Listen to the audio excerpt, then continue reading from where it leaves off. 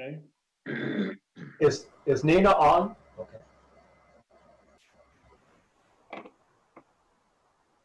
Nina's frozen. okay. Well, welcome, welcome to the, uh, the June seventeenth meeting of the planning board, the Kennebunk Planning Board. I'm Tom Boak, Chairman. This is a virtual meeting. We are using Zoom conferencing format. The agenda is, has been is out there for a way to get in. If you want to go in through Zoom, you can use meeting number 959-2856-7793. You can also dial in on phone with a number of area code 929-205-6099 or 312-626-6799 and enter that same meeting ID of 959-256 2856-7793. Anyway, if you are using Zoom and your cable or, or YouTube to view this meeting, ma- make sure you turn down your volume if you actually get around to be trying to speak, because we'll get feedback. You can, as always, you can watch us on channel 1301 or stream us on YouTube at Kennebunkport Television. During the meeting, only the planning board and current participant are selected by the board will be on the screen with audio connected. All others will be blacked out and audio muted except eh, when the board solicits public input. So uh, we are doing a public meeting here, uh, for three public meetings, in fact. So we will be doing that uh, when we get around to it. Appreciate your short, your support and patience as we work through this process. Now I'm going to take a roll call, think we're in pretty good shape. I'm here, Tom Boak, Nina is frozen. No, she's, okay, Uh, Nina is there. Ed? Yep. Francis, yep, Ed Francis, Larry is, is over there, yep. Okay, uh, Scott, yes, Yes, thank you. and George? Yes, And John, Here. We are. Okay, so we have everybody here. Now, uh, I- if, uh, at this point, we'd like to ask the uh, Kennebunkport uh, Public Tel, or Kennebunkport Television Maine folks, to if they have anything to say to explain what the audience needs to do.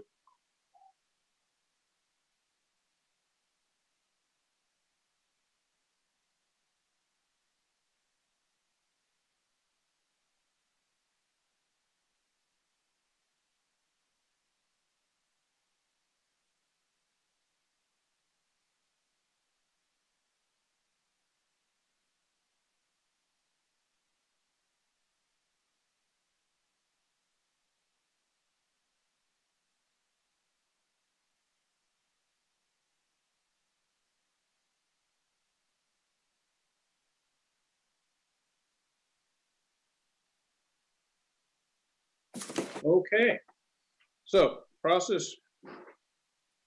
Okay, so at this point, I will introduce the, well, I have to start, start the meeting, which the first step in the meeting is to, uh,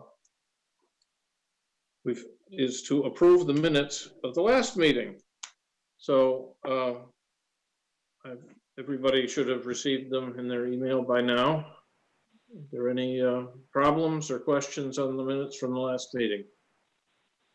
If not, can I get a motion to approve them? So moved. And I need a second. That's Larry. Second, Larry, and a second from Nina.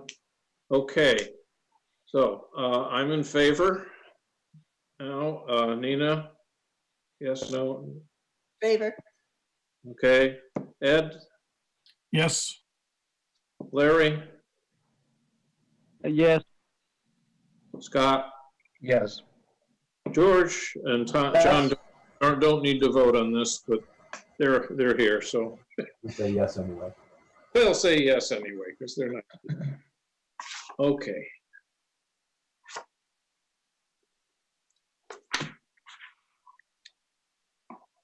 Okay, when we get to a- an agenda item, we will request the applicant or their representative to raise their virtual hands, then acknowledge them. And uh, David will promote them to panelists and they will be able, be able to, they'll be visible and be able to uh, be discussing their, uh, their item. Once that is complete, we will go through the board, see if there are any more additional questions. And then uh, after that, we will, we, in this case, these are all public hearings, so we would open a public hearing, repeat, ask for abutters first, then general public second. And again, we'll have to add- raise your hands. Once all the input has been given, I'll close the public hearing and invite the board to deliberate. Call upon each member. uh, If we need any additional clarification, then they, they will- uh, proceed to vote on the, on the item. Okay, so first item on the agenda is number 200301, Edward and Lana Bassett, minor subdivision change. This is the public hearing for an approval to add 0.41 acres to their land through purchase to create a larger buffer on Oxbow Lane, uh, tax map 37, block 3, lot 4, in free enterprise. Now, uh, hopefully, um, Mr. Bassett is there and can, can get uh, recognized.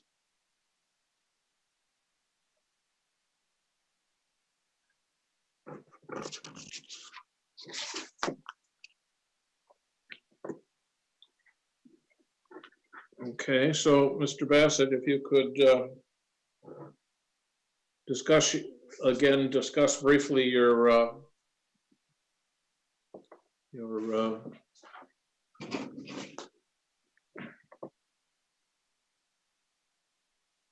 Okay.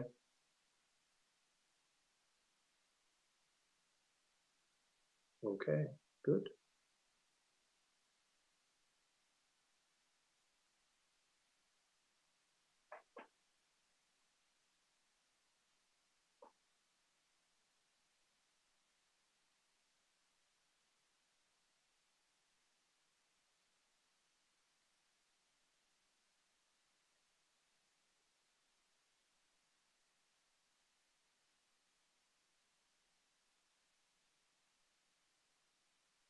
Okay, I see. I see his name. Hello? Okay. I think that's what happened the last time too, for some reason. They can't seem to get the camera working. Okay, well, much as we'd love to see you, why don't you proceed and tell us again about your, about this, uh, for the public that's uh, now connected and uh, potentially hearing about this. Okay. My name is Edward Bassett and I am the applicant for this uh, change in property. Um, We have purchased this 0.41 acre and it appears to be attached to one lot. And we would like to detach that and attach it to our lot for our property. Um, The purpose of it is simply a buffer uh, to continue the buffer that we have out there. Um, There will be no changes to it. There is no building, there is no septic, there is no water. It's just land. And uh, we, we use it as a kind of a runway for a bunch of animals to get through, really. Uh, But it's, it's kind of a neat little thing to have, and we would like to have that purchase to add to our land. Okay. I think that pretty well, uh, we discussed this pretty thoroughly last, last time to, uh, you know, that your, all lots are, are legal, uh, conforming lots af, after this change so that there's no, no difficulties in it. So, uh, I guess the, does anybody, any of our planning board members have a comment about this at this point before we open the public hearing? John, The, you, you've uh, taken this as yours. Do you have any comments about it or are you just ready to go? Ready to go. Okay. All right, I see no other planning board members that wish to speak at this point, so uh, what I would uh, like to do is open up the public hearing. First for abutters, if there are any people raising their hands. So if, David, you see anybody raising a hand for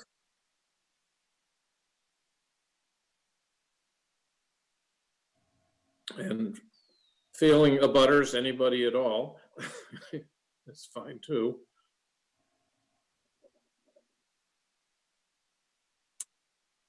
Not surprised, quite honestly, but. Okay, um, in that case, I'm, I'm thinking we, we should just, uh, close the public hearing at this point. And now, if, uh, any of the members of the planning board would like to speak on this item, uh, please do so, unmute and do so. Uh, If not, I guess we need to get a, a motion to, uh, to approve this, this minor subdivision modification.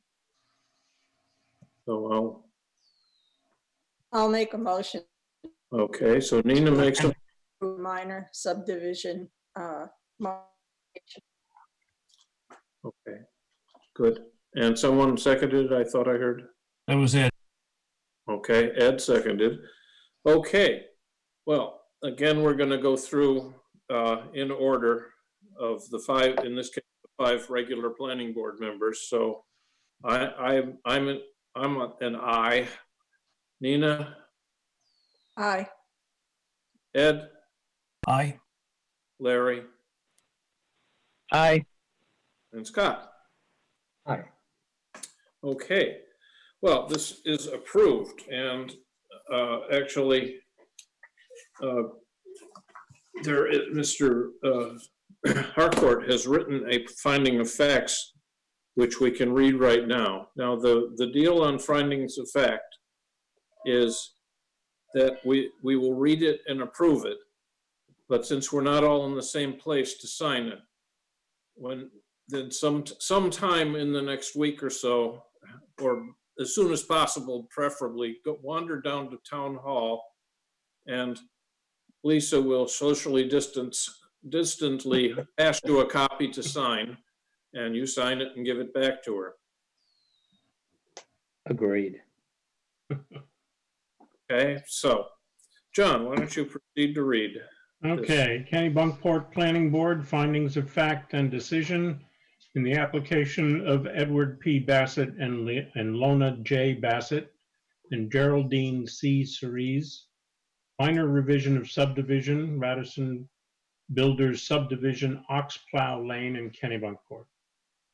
To transfer 0.41 acres from existing lot number 11, Geraldine C. Cereza, to existing lot number 12, Edward P. Bassett and Lana J. Bassett.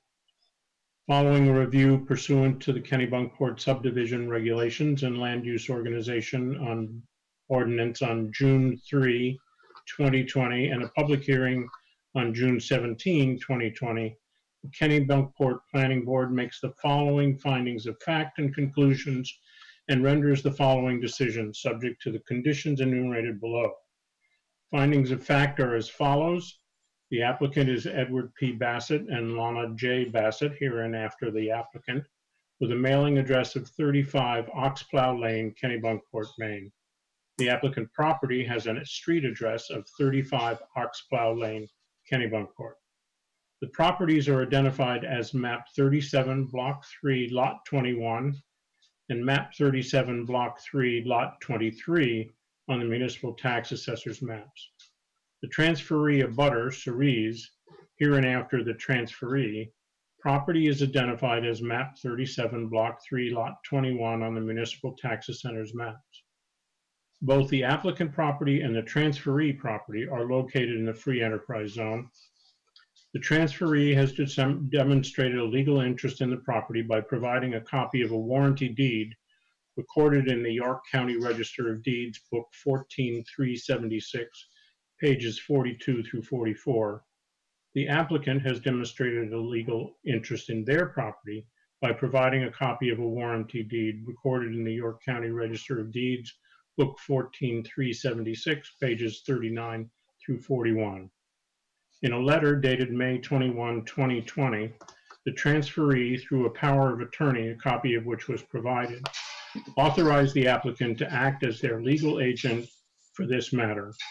The applicant and transferee have provided a fully executed land sale contract for vacant land located at 34 Oxplow Lane and further described as Lower Village Survey dated 5/25/2005 as area added to Lot 11, 17,935 square feet, 0.41 acres, recorded as, as Book 302, page 37. A survey created by the Lower Village Survey Company dated 3/20/2020 indicates both properties will meet or exceed minimum lot size requirements for free enterprise zone. Transfer poses no negative impact for free enterprise minimum lot size requirements. Applicant has submitted a minor revision subdivision application received March 20, 2020. Applicant has not requested submission waivers and has presented a complete and detailed application. Applicant has requested no performance standard waivers from requirements of the Kennebunkport Land Use Ordinance. Conclusions. In accordance with Articles 7, 8, and 9 of the Town of Kennebunkport subdivision regulations, the planning board grants approval of the applicant's minor revision subdivision application. Decision. The minor revision subdivision application identified above is hereby approved. This approval must be recorded with the Registry of Deeds within 90 days of approval, or it becomes null and void unless an extension is granted by the board in writing.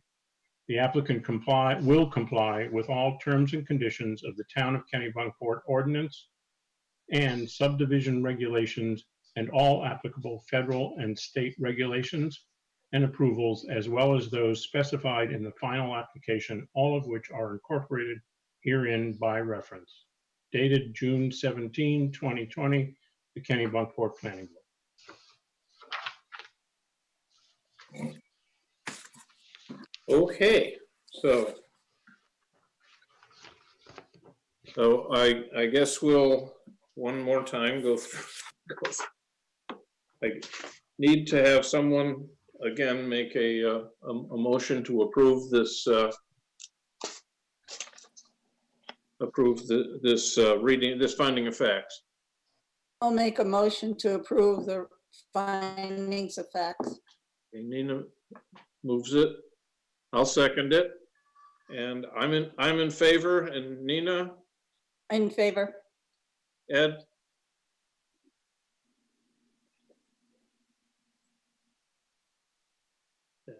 Ed's frozen. Okay. No, Ed's, Ed's muted.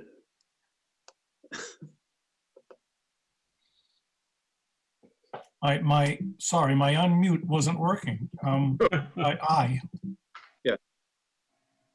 Okay, but you're in favor, I take it. yes, Okay, Larry, Uh, yes, Scott, In favor. okay. So, as, as I said before, the, this finding of facts will get, uh, Lisa will, will print it out and then we'll, we'll go down and sign it. And Once, once the whole thing is signed, someone, presumably someone in town hall will notarize it. And, uh, and then, at which point Mr. Bassett has to take and get it recorded. Is that correct, Werner? And you're muted, yeah. Uh, yes, that's correct. Yeah, we'll go ahead and, uh, yeah, we'll have, uh, we'll have it printed out here and then, uh, yeah, the board members, uh, if you want to swing by, um, you know, Thursday or Friday to sign that, we'll make sure that we have it here available for you. Right. Okay, and then you'll tell Mr. Bassett when that's been completed. so That's, that he- that's correct. Yep. We'll let Mr. Bassett know when it's ready to be picked up so he can get it recorded. Okay. Super. Okay, Thank you very much, members of the board. thank you. Yeah. All right, so we're going to move on to the second item in the agenda, which is number two zero zero five oh three, Michael McKellar, doing business as Newport, New Point LLC. This is a public hearing on his site plan. It's for approval to convert an existing landscape equipment warehouse back to its original permitted use as a lobster and seafood distribution warehouse on 184 Beechwood Avenue, tax 24, block 1, lot uh, 14B, Farm and Forest Zone. So if uh, Dave could, uh, could locate uh, Mr. McKellar.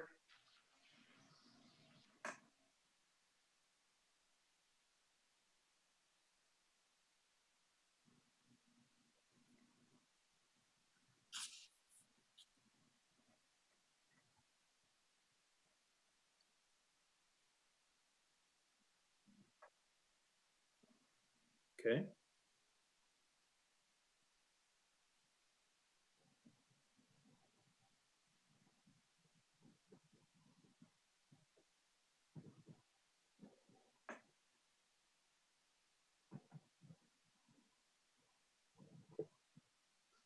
There he is. Hi, guys. Okay, so please, uh, this is the public hearing on your application. If you could uh, reiterate uh, your application and, and it would probably help to go through some of the comments that you've been receiving from, from abutters so that, uh, you know, to see what, what, what it is you're doing to uh, help them out. So, Sure. Um, So yeah, my name is Mike McKellar. Um, I am the applicant uh, and owner of New Point LLC. I live at uh, 100 Oak Ridge Road uh, in Kennebunkport. I'm under contract currently for 184 uh, Beechwood Avenue, um, which is currently uh, a landscaping facility uh, warehouse. I'm looking to convert that use uh, back to uh, seafood distribution uh, use, uh, which was its original use. Although uh, what was happening there prior was is, is completely different, um, I guess, uh, so to speak, and I can explain that further in a moment. Um, and yeah, I'm, I'm slated currently to close on that property on July 3rd, um, and then would commence um, my business operations uh, shortly after that. Um, had the meeting with you folks uh, two weeks ago and kind of explained what it was that I was looking to do. Um, I can briefly go over that. I'm running a small operation which would employ myself um, and maybe uh, two others, but probably one to start. Um, a portion of my business is a brokerage, um, which is essentially just putting deals together over the phone, which don't take place um, at the location that we're discussing. Um, another portion is fulfillment um, of orders that are going to be shipped direct to restaurants, um, the majority of which are out of state, um, or fulfillment for e-commerce, um, folks that are looking to have live lobster or lobster meat, lobster roll kits, those kinds of things uh, sent directly to their homes around the country. Uh, so essentially what I will be doing is bringing in product that's already prepackaged, uh, 90% of which will be frozen, um, and a small portion will be fresh. Um, again, prepackaged, um, and then I will fulfill orders, pick and pack as orders come in. Um, they'll be picked up uh, by UPS carrier in the afternoon and then sent uh, to wherever uh, their destination is. Um, outside of that, um, there's really not much to the business. There's no processing going on. There's no uh, live lobster holding, uh, fish cutting, anything of that nature. Again, prepackaged goods that are that are picked and packed for fulfillment of orders.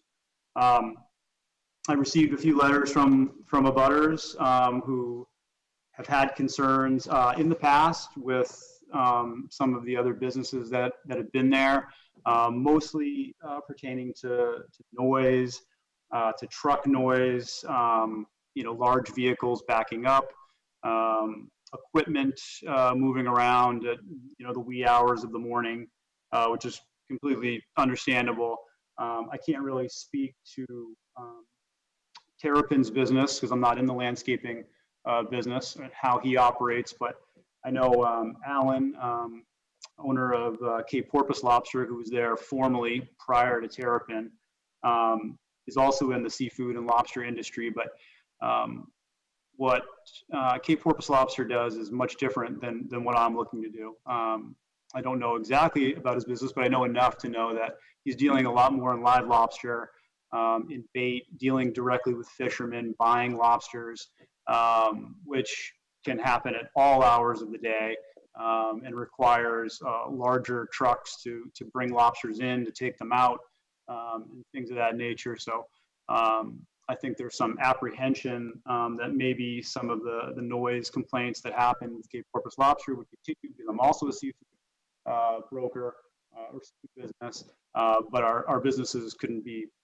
you know, further apart from one another. So, um, but yeah, I'm glad to answer any questions um, and in regard and, and anything that um, had been mentioned in regard to noise. I, I think another outside of trucks um, was potential equipment because I am planning to put a, a small cooler and small freezer um, on the property. Um, essentially, they're walk-ins that you would see at a, a restaurant, eight by 12 units that are put together.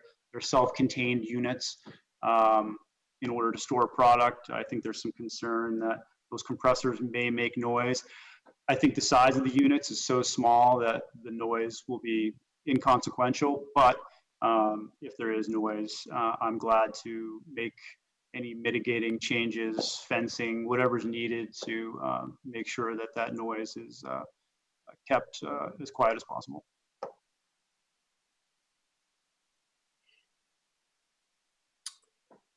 Okay. Um, The first step is to go through the board to see if we have any additional questions. Um, I guess Larry, you were the uh, case manager, so you can start, I guess. Oh, hi, Mike. Uh, Larry Simmons here. So I was just wondering if you had a chance to verify whether, you know, what, whether you're gonna have any ammonia in your cooling system. And I will really, uh, okay. Okay, thank you. And in fact, I've written up the, uh, the finding of facts to say you won't have any hazardous materials on site, so that's good.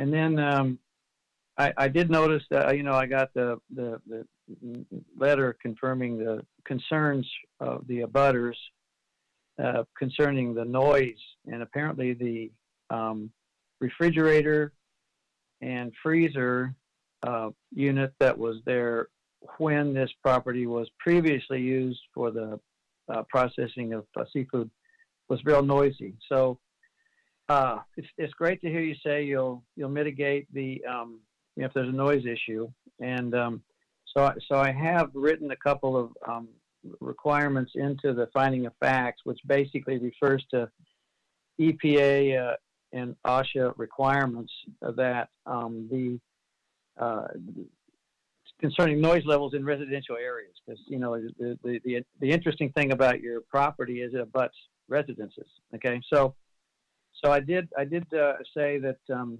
I'm just quoting you know just taking the info right off the right off the EPA website that, that um, the um, the sound level during the day would be no more than 55 decibels on the A scale at residences, uh, and then at night no more than 47 decibels on the A scale uh, from 10 p.m. to 6 a.m.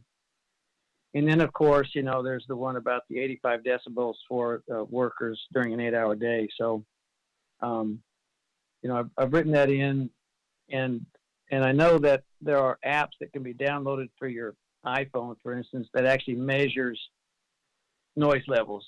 So it'll be pretty easy to verify uh, what the noise level is. Um, well, anywhere, you know, if, either the abutters or or yourself. and then uh, then I started thinking about the you know ways to mitigate that sound if the compressors uh, if if they if they were um, a bit noisy. And you know the uh, you know some sort of baffling, some sort of enclosure with uh, various uh, sound absorbing materials, you know, would probably do it.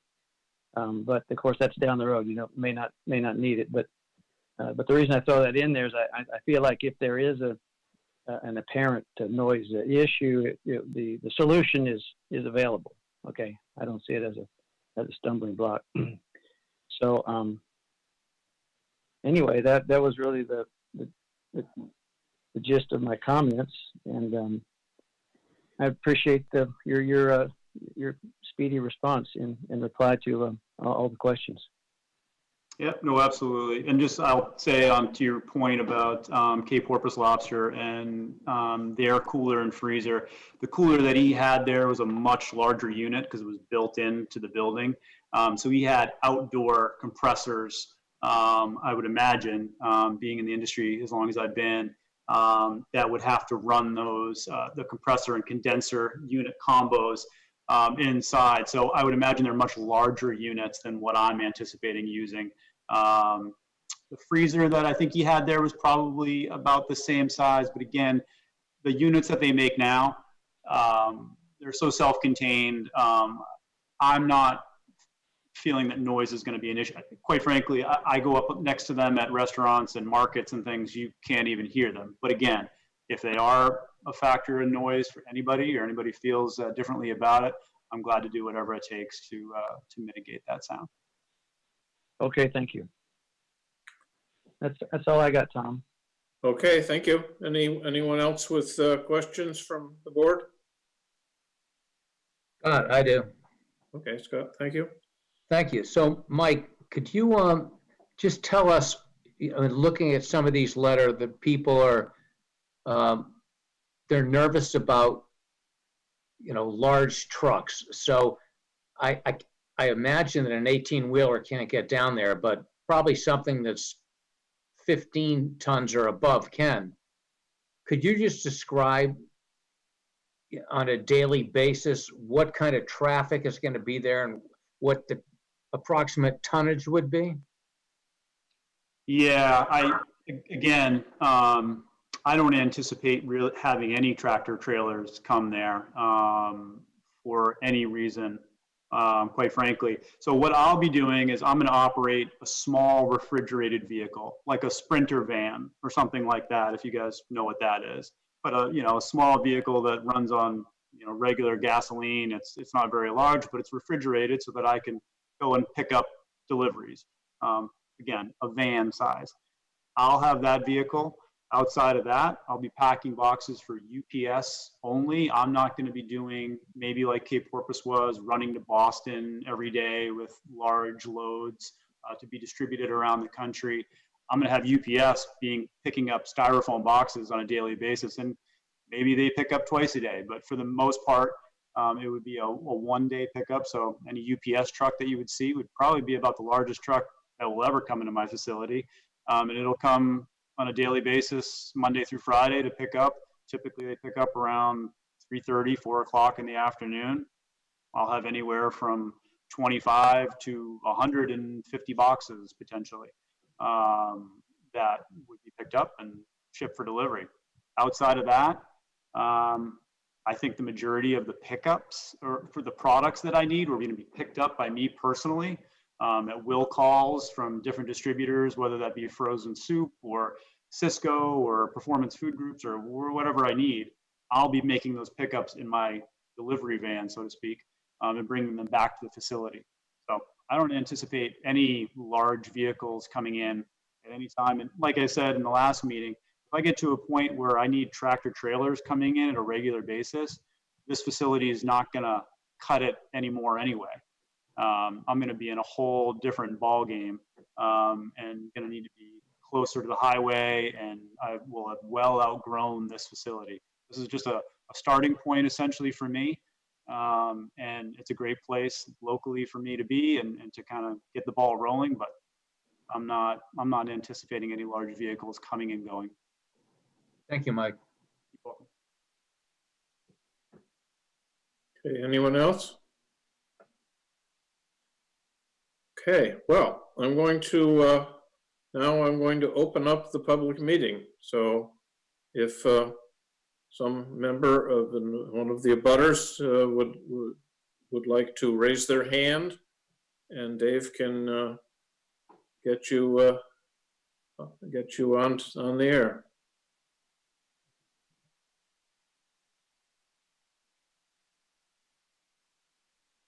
I was- gonna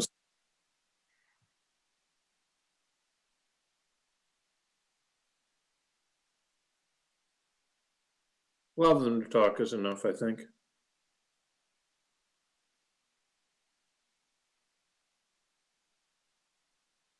Hi there. Um, this is Laurie Dowdy. I am uh, right across the street uh, with my husband at 2 Hickory Lane. Um, so our driveway looks right out on the driveway and the front of this property. So at the last meeting, one question that came up was it was there going to be any removal of trees? And I think there was a mention of some trees that were infringing on the septic system. I was curious as to what those trees were, what the location was, um, and would they be anything that would provide screening um, on the street side um, and therefore to our property? Because that's exactly, we look right over at the garage door uh, of the building. Yep, so I'm terrible with direction, but if you're looking at the building, um, they're on the far right corner um, of the uh, of the property. There's like a little small chain link fence there, and then there's some large shrub type trees, like three of them that sit on the. I suppose it's the north corner um, that sit right there. And the only reason I would even remove them at all is because um, the septic inspector advised that I do so because they're uh, encroaching on the leach field and they're essentially going to destroy it um, if they're not removed, the root system. So um, that's the only reason why I would I would take them down.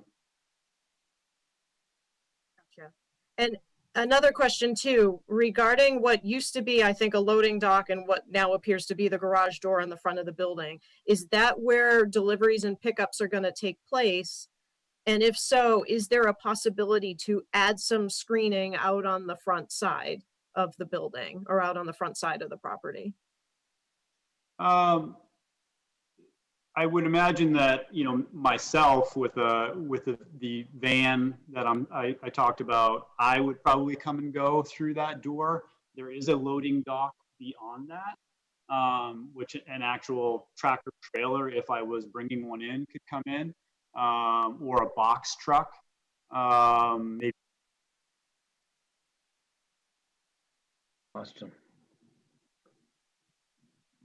My computer was doing something funky, sorry. Um, where UPS style truck could come in, so that would be in the, the backside, kind of underneath um, where you would look at the garage, just beyond it. Um, could something be put up? I'm sure something could be put up. Um, I don't know if I personally see a need to, to put some fencing or, or screening up beyond that. I guess it's something that uh, I'm open to, but again, I, I think there's this conception that there's going to be all kinds of traffic coming and going and trucks in and out, and that's just not the case. Um, so I think it's, I think it, it wouldn't necessarily be necessary.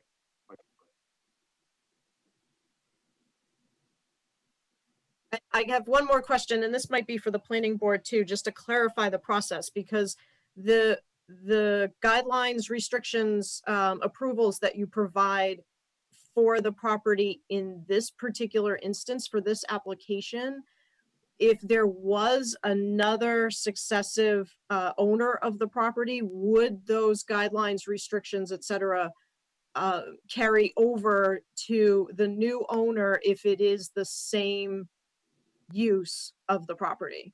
I just want to make sure we're not setting some kind of precedent for somebody else who would, who would come in in the future um, and maybe not have the same kind of limits to, to his business that he's explaining.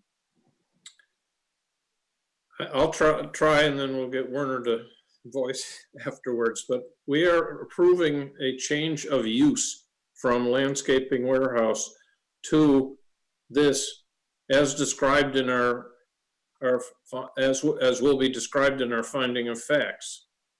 So I would, if they are, for instance, decide to, to do, he decides to go to six days a week or seven days a week, or decides to something other than the, the hours that he specified, that would be, I believe, a change of use. Is that true, Werner?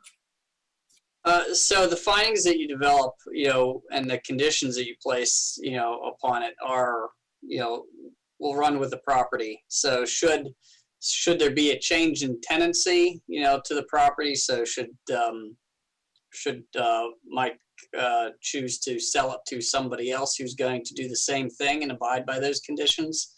Uh, that would run, you know, those conditions are going to run with the property. Uh, and if it's for the same use, it's just a change in tenancy and those are the conditions that they have. And so it's, uh, you know, just a, a change in ownership wouldn't, uh, wouldn't bring somebody back to the board, uh, provided that they're doing the same use and, you know, and following the same conditions that have been, you know, set in place by the board. Okay. Great, okay, thank you. My understanding of that, Werner, is that if somebody were to come in and instead of wholesaling, wanted to retail, have a retail business, that would be a change of use. They would have to go before the board. Yes, yes, that's correct. Yep. If there was going to be a retail component piece of it, that's described as another, that's another type of use that's described and that would come back to this board. Right.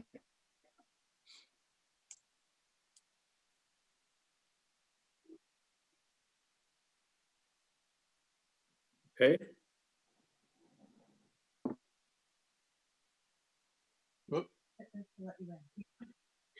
Uh, I'm trying to, can you hear me now? Yeah. Oh, very good. Thank you.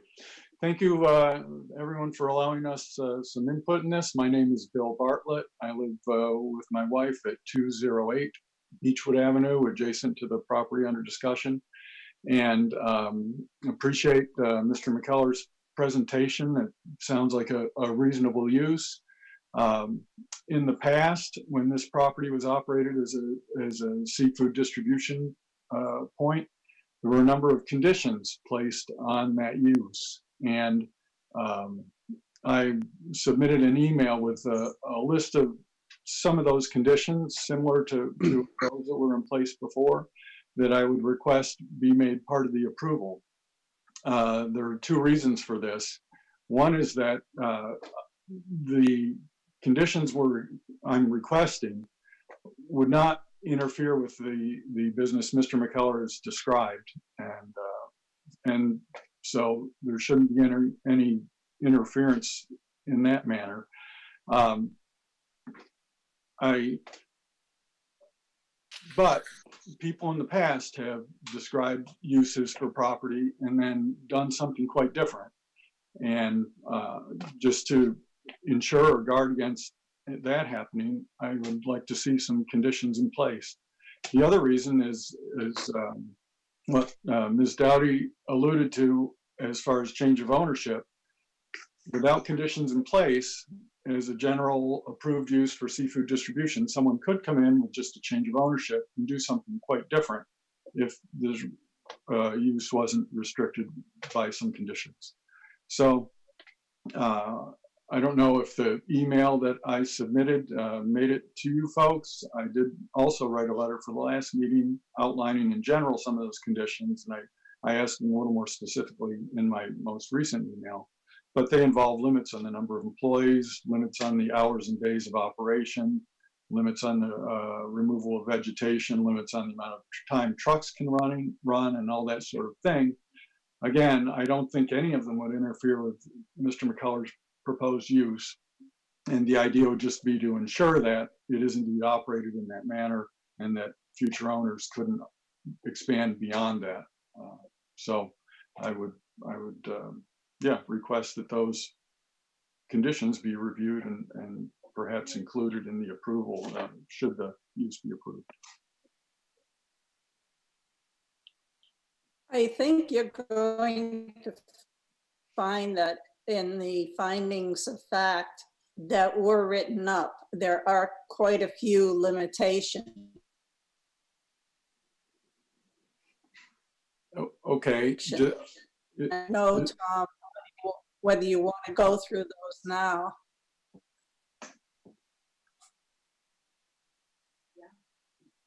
Yeah, yes, I would be interested in hearing because once the public hearing is closed, no further input is permitted, as I understand it. So I think while the discussion is open, we'd be interested in, in hearing the the various limitations. But I think, Larry, you've, you've already included the, the same uh, five days a week, uh, the same hours that, uh, that Mike uh, has mentioned. Is that correct? Well, that's right. I think as I was sitting here listening to the concerns, I think most of the, all, all those items are covered in the finding of facts. Um, and um, including the limits on the hours of operation and the uh, amount of time that a truck can be idling. Um, you know, for if a truck idles more than five minutes, um, the uh, applicant has agreed that it will be shut off. And um, then there's a discussion in the finding of facts about the um, uh, pickup by the UPS just during afternoon hours, which would limit traffic and noise.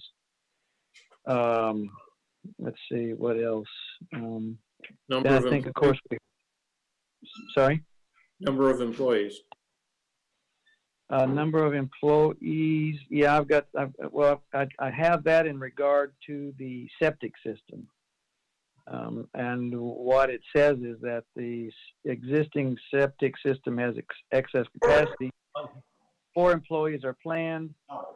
Uh, the, the septic is sized up to 20 employees, and it talks about other things that have to happen to the septic if, um, you know, if there's a need for some sort of disposal um, unit in the in the operation. Um, so the n- limit on the number of employees is with regard to the septic, and of course it reflects the the comments by the applicant that he would start with one or two and then get up to a maximum of four, at which point he would be, you know, his operation would be too large for that particular facility, is the idea. Then the, I guess the, the only other one that I've left that, uh, let's see. I didn't really talk about cutting down trees because the only trees that are going to be removed are the ones with regard to the interfering with the septic system. Um, and let me see. I, I don't think I added that in here specifically. Larry, Um, you- okay. you have a, you have a condition that says the existing woodland buffers must be maintained explicitly. And you've also described that only, the only the three plants are going to be removed. There we go. I knew I had something in there. Just a question of finding it, yeah. So I, I actually think I've, I think the finding of facts covers the concerns that have, that have just been expressed. And, and let me just speak quickly on the, the hours. Um, you know, my only concern with the hours is that's absolutely when I plan to operate. But for example, my dog was just barking here because the UPS guy was just coming up my driveway, uh, delivering a package. I just don't want to pigeonhole myself to an extent where if there's a certain day when I've packed, let's call it 50 to 60 boxes, and for whatever reason, I have no control over UPS. And the majority of the time they're there 3:30, 4, 4 o'clock. They show up at 5:30 one day to pick up boxes that I'm expected to not load the UPS van after I've packed a number of boxes. That just wouldn't be appropriate, I don't think. Um, that's something that, you know, I couldn't, I couldn't operate under those parameters. I, I would think in the majority of the time, it'll be well within these, these hours, but I'm not gonna put myself in a position that if it somehow he shows up at five thirty or six o'clock, oh, I, I gotta stop all operations. That, that just wouldn't make a lot of sense for my business. So, so Mike, this is Larry again. So the way that I've addressed this, uh, this, this thought did occur to me as I was writing this out. so, uh, the way I've addressed it is, I said the commercial affili- uh, facility is intended for weekday activi- activities only between the hours of 7 a.m. and 5 p.m. Okay, Monday to Friday. So, intended for that that those days and times um, it's a little it's a little vague. It does recognize the possibility that you know, like you said, the UPS may be late. I don't know. So I didn't want to make it shall be only for seven AM to five PM. And I don't know quite how else to say it without, you know, um, to get, leave you, leave you a bit of wiggle room on, um, well, handling issues that may come up that, you know, it requires you to operate outside those hours. Sure, no, that's fair enough. Larry, I, I did notice that in, in the, uh, the criteria that you put for noise abatement, that, that, um, Yes. during the day, you said 55 dBA, and then the 47 dBA kicks in at 10, not, not at 5. And I thought that was probably an- a hard cutoff then, that, that the 5 was what the intent was, and certainly not after, you know, at 10 o'clock at night, you're not going to be getting deliveries. Is, is, was that your intent, or is that just, uh, Well, I copied that 10 off the EPA web.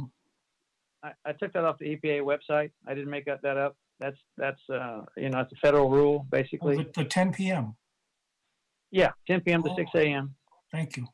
So I mean, we could change it if we want to, but I, I figured, well, we, you know, just leave it, leave it like that. I believe there's an, Werner would know, but I think that's the local sound ordinance as well. You know, some bands cut off at ten o'clock.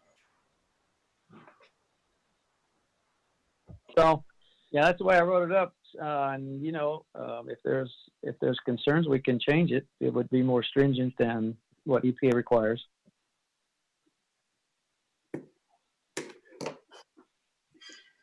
Well, I think you have to look at this as very much a balancing act. You're asking for a conditional use in a very high potential area. You're surrounded as others. And so there are definitely going to be restrictions that you're going to have to abide by. Um, the residents' only recourse after we approve an application is to go to Werner and ask for enforcement of those conditions, basically. Um, you know, e- we just did a conditional use out on North Street where the, there wasn't going to be very much traffic, but North Street is very busy. And one of the things that, you know, or if- that the, um, the owner was going to do, and uh, we probably would have restricted him to, is to put up visual buffers for sound and for visibility, so you don't see the facility. So in a residential area, when you're asking for a conditional use, you have to understand that, you know, you have to be very reasonable. There are going to be restrictions. And if you were allowing some leeway here, but if you continually go outside of those hours, then the residents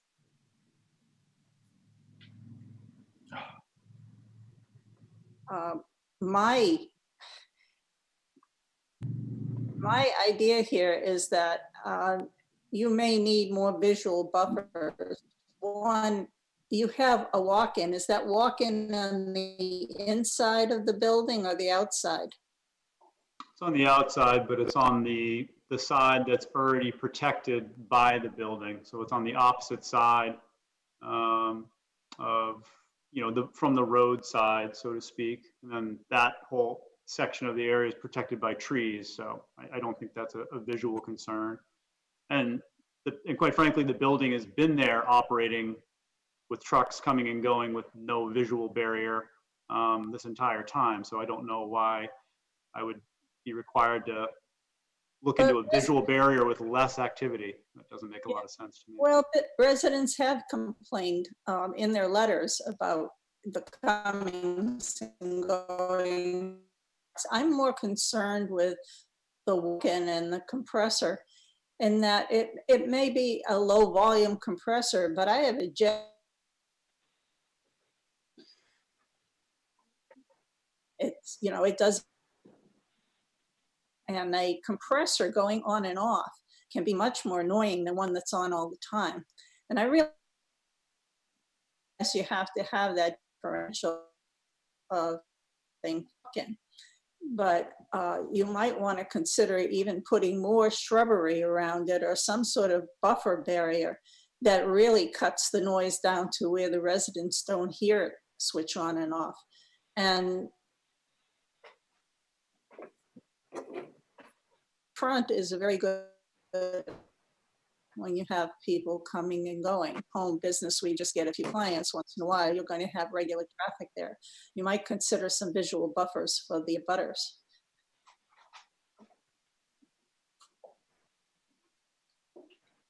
We are required to look at restrictions for conditional uses. That's basically in the de- definition of a conditional use. Um, it's, it's one that really requires conditions because you're usually surrounded by residents. And if you put up a business, you don't want it interfere. Absolutely. No, un- understandable. As opposed to, you know, and there's obviously looking through the uses, there's, you know, certainly some other ways that it could go with permitted uses as, you know, timber management or uh, uh, animal husbandry, which is also permitted use. So sometimes, um, I don't know. It's, I, I think what I'm proposing here is, um, quite frankly, a, a, minimal impact comparison to what other uses could potentially go into that property. But it is a conditional use and it will Yep. will have restrictions. Got So, it. and I would uh, suggest to you that you work very hard to abide by all those restrictions. and the-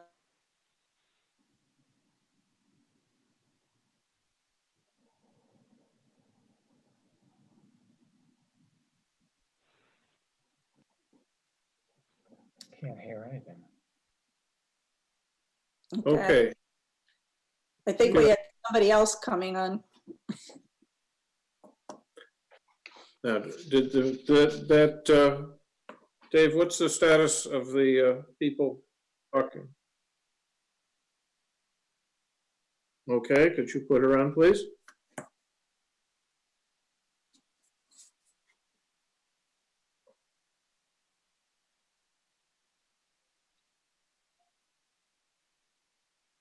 Good evening. My name is Ann Campbell, and I live at 207 Beechwood Avenue. And um, I'm glad some other abutters have answered my questions, asked my questions, and um, I have a- few other things to mention, and that is, in the last meeting, he asked, Mr. McKellar asked for um, the landscaping business to be able to operate until October out of there. And I think that's an extra use that I would prefer not to have, be having if it's approved. Because that's additional trucks and things like that.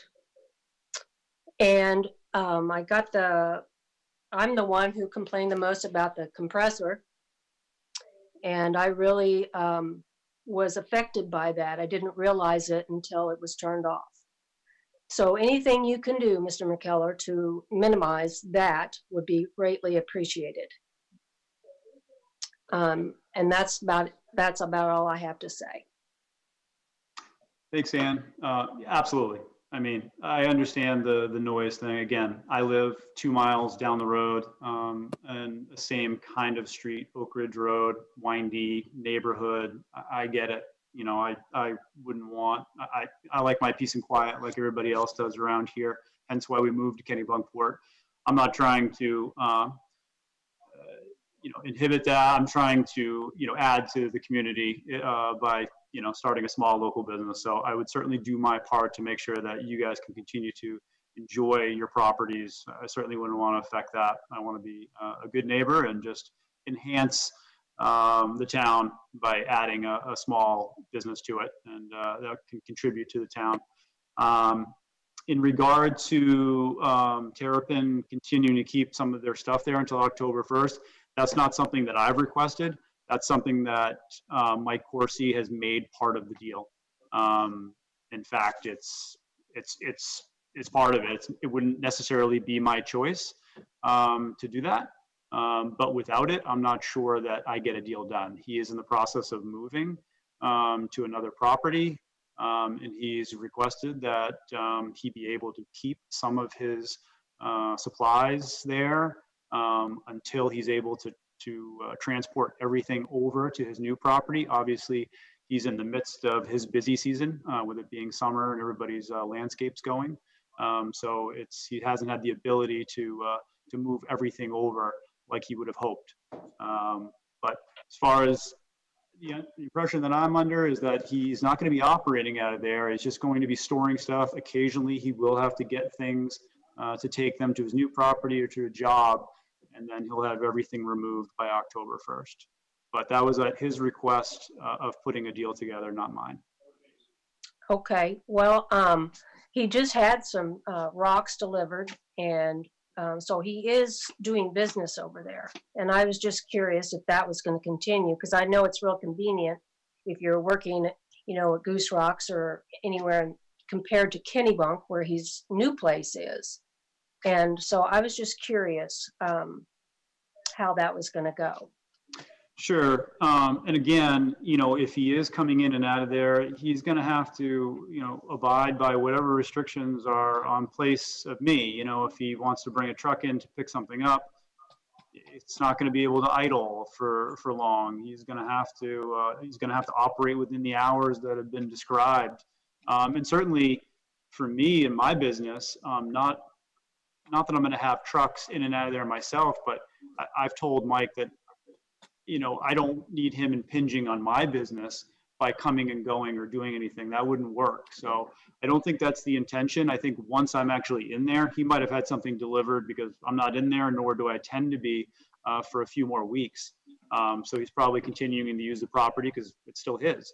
Um, but after that, I would expect, um, you know, his uh, frequency of use to slow down dramatically.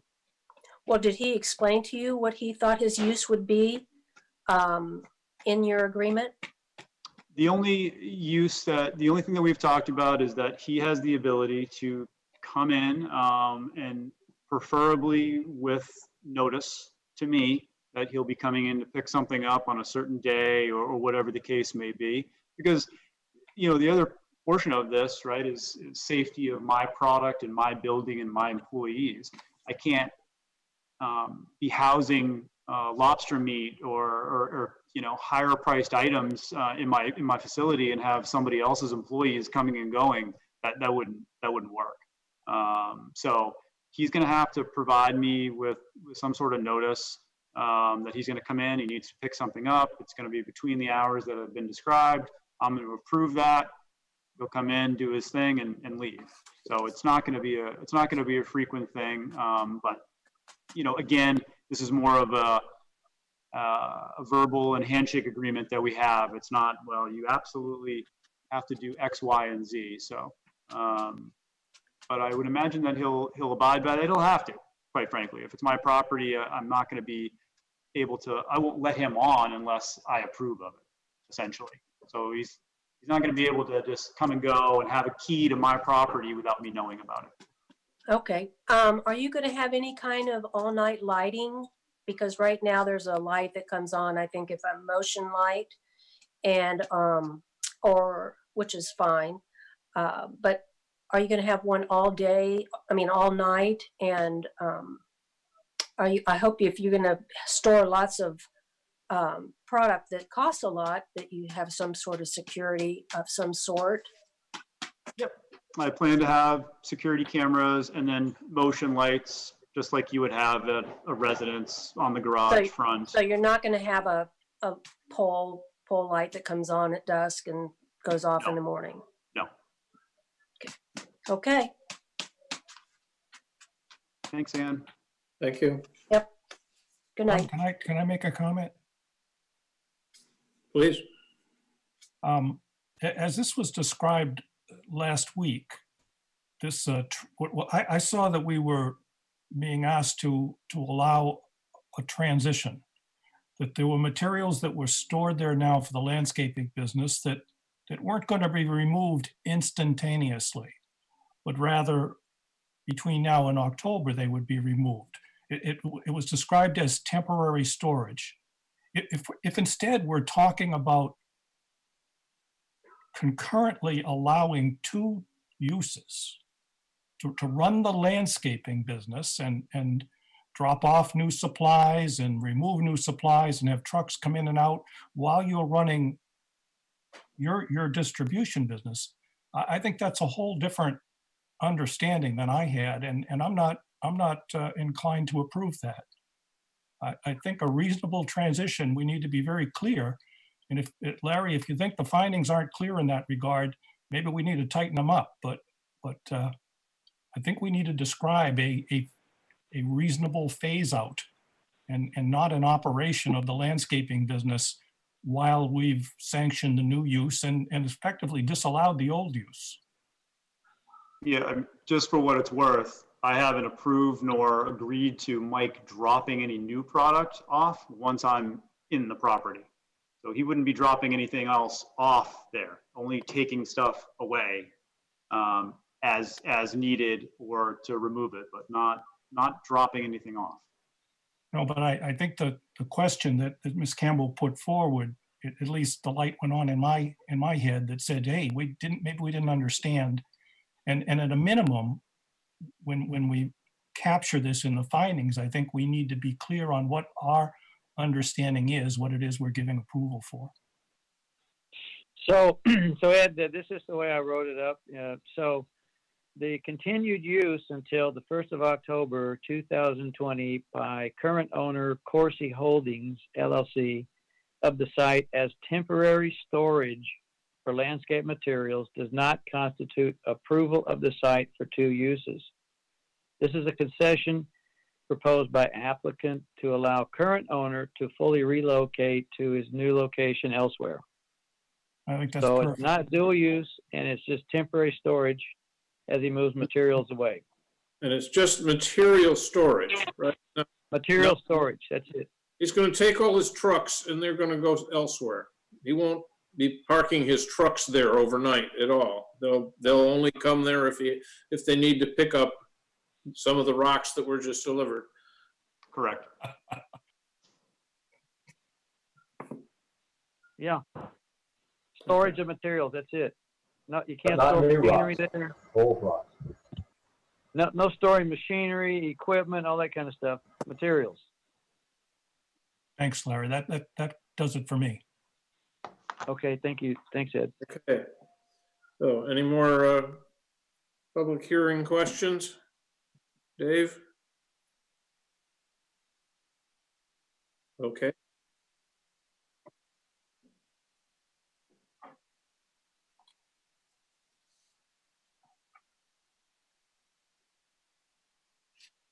Hi there, it's Lori Dowdy at Two Hickory Lane again. Um, something I neglected to ask, uh, before.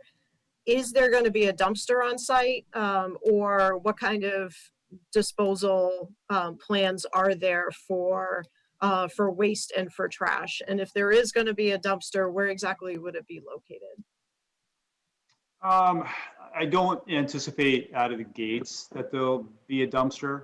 Um, I don't see why I would be having a tremendous amount of waste, because again, the, the products that are coming in are prepackaged. Um, and then they're going into boxes and, and being shipped out. Um, so I, I wouldn't imagine that I'm gonna have a tremendous amount of waste other than a few trash cans of typical household waste. Um, if I, a point in time comes where a dumpster is needed, I would certainly put it um, out of sight um, on the loading dock side behind the building, as far away from the road as possible. And if an enclosure is needed for said dumpster, I'd be glad to erect one. Um, but again, out of the gates, I don't anticipate needing any more, uh, you know, disposal other than a few trash cans um, that would have typical household waste. There's no food going in to the uh, to the trash. I hope there isn't. Again, if I'm throwing a tremendous amount of food away, I'm gonna just go out of business anyway. So that would be a bad scenario. Uh, so it's uh, yeah, nothing uh, nothing that I'm concerning myself with with a large amount of, of disposal uh, initially. Um, and again, if it gets to a dumpster scenario, I would certainly put it out of out of sight and enclosed if need be. So can I just jump in there, Larry? So the way I wrote this up is, um, Applicant confirmed that no hazardous or toxic substances will be stored on site or used in commercial activities on site. Dumpster on site will remain out of sight and will be for only everyday household trash. Okay? So and that reflects really what's in the application. So if a dumpster is on site, it should be invisible to abutters essentially, or at least, you know, hidden as much as possible. Is that right? Is that okay, Mike? Oh, yeah, sorry, didn't know you were speaking to me. Yes, absolutely. That sounds good to me.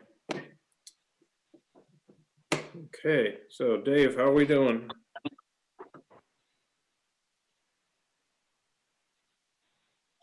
Okay, well, I think that I can close the public hearing then. So, in that case, I think we've all pretty talked, well talked. Anybody that hasn't talked want to ask a question of Mike before we, uh, we vote on this? Okay, I see nothing. So what I need is a motion and a second. I'll make a And we're mo- motion to accept Okay, application uh, with restrictions as described. and, and I think Larry just seconded it. I'll second, yeah. Okay, so. So, I'm so gonna go hang, so through- hang on, so we're, so, so hang on, so we're closing the public hearing and we've accepted the application as complete and Did That last time. the time. next step, No, we, so- we, so we, we're ready to approve the application, okay, good, all right, which is what you just seconded. excellent. Okay. So I, I, I'm voting in favor. So Nina, I'll vote in favor, okay. Ed, yes. I'm Ed? sorry, I couldn't understand Nina. I said yes in favor. Thank you. Ed, Aye. okay. Larry Uh, Aye, and Scott. Aye. Okay, so it is approved. So Larry, I believe you can read that magnificent finding of facts of yours, and then we'll have two things to sign Thursday or Friday down with, uh, with, uh, Lisa. okay. Should I go ahead and start then? Proceed, yes. Okay, so this is the uh, finding of facts in regard to the application for lobster and seafood distribution warehouse at 184 Beechwood Avenue, Kennebunkport, Maine, uh, 04046. So following the site plan reviews pursuant to the Kennebunkport Land Use Ordinance held on the 3rd of June 2020 and public hearings held on the 17th of June 2020, the Kennebunkport Planning Board makes the following findings of facts and conclusions and renders the following decisions subject to the conditions enumerated below. The applicant is New Point LLC, 100 Oak Ridge Road, Kennebunkport, Maine, 04046. The property has a street address of 184 Beechwood Avenue, Kennebunkport, Maine, 04046. The property is identified as map 24, block 1, lot 14B on municipal tax assessor's maps. The owner of record of the property is Michael Corsi slash Corsi Holdings LLC, comma, Stacy Stacy Corsi slash Corsi Holdings LLC, 128 Witten Hills Road, Kennebunkport, Maine, 04046. The property is located in the Farm and Forest Zone. The applicant represented himself during the proceedings. The applicant, in parentheses, buyer, has demonstrated a pending legal interest in the property by providing a copy of a purchase and sale agreement with, in parentheses, seller, Michael Corsi slash Corsi Holdings LLC, comma, Stacy Corsi slash Corsi Holdings LLC, stating that the property will be conveyed by a warranty deed upon closing in due course. The seller has demonstrated a legal interest in the property by providing a copy of a warranty deed recorded in York County Registry of Deeds, Book 16718, pages 510, 511, on the 23rd of October 2013, showing ownership by Corsi Holdings LLC. The property comprises three acres more or less and has been used since October, since the 23rd of October 2013 as a landscaping equipment warehouse. Before the 23rd of October 2013, the property was permitted for use as a lobster and seafood distribution warehouse. Applicant proposes to again use the property as a lobster and seafood distribution warehouse. In an application dated 11th of May 2020, applicant proposes to continue use of the existing buildings on the property in applicant's business as a wholesale distributor and broker of fresh and frozen seafood products. Applicant proposes to use property for receiving, repacking, warehousing, and distributed such fresh and frozen seafood products. No retail activities will occur on the site. Applicant proposes to remove existing cooler addition adjacent to the light industrial commercial building on site and to replace such cooler with a freestanding cooler and freezer unit. Because the land use ordinance lists fish processing and warehousing as conditional uses in the farm and forest zone, site plan review and approval by the planning board is required. In response to questions from abutters, applicant advised the board that facility initially we will be staffed by one employee owner, namely the applicant, from 7 a.m. to 5 p.m. Monday to Friday each week. In future, up to four employees may be on site. Growth of the business beyond a need for four employees would outgrow, outgrow constraints imposed by the size of the existing building and would require other arrangements. In response to questions from abutters, applicant advised the board that applicant's own small refrigerated van would be used in support of commercial activities at site. Deliveries rarely would be supplemented by tractor trailer sized truck. Distribution of packaged fish from site would also be by UPS during afternoon hours. Should trucks be on site for more than five minutes, engines will be turned off.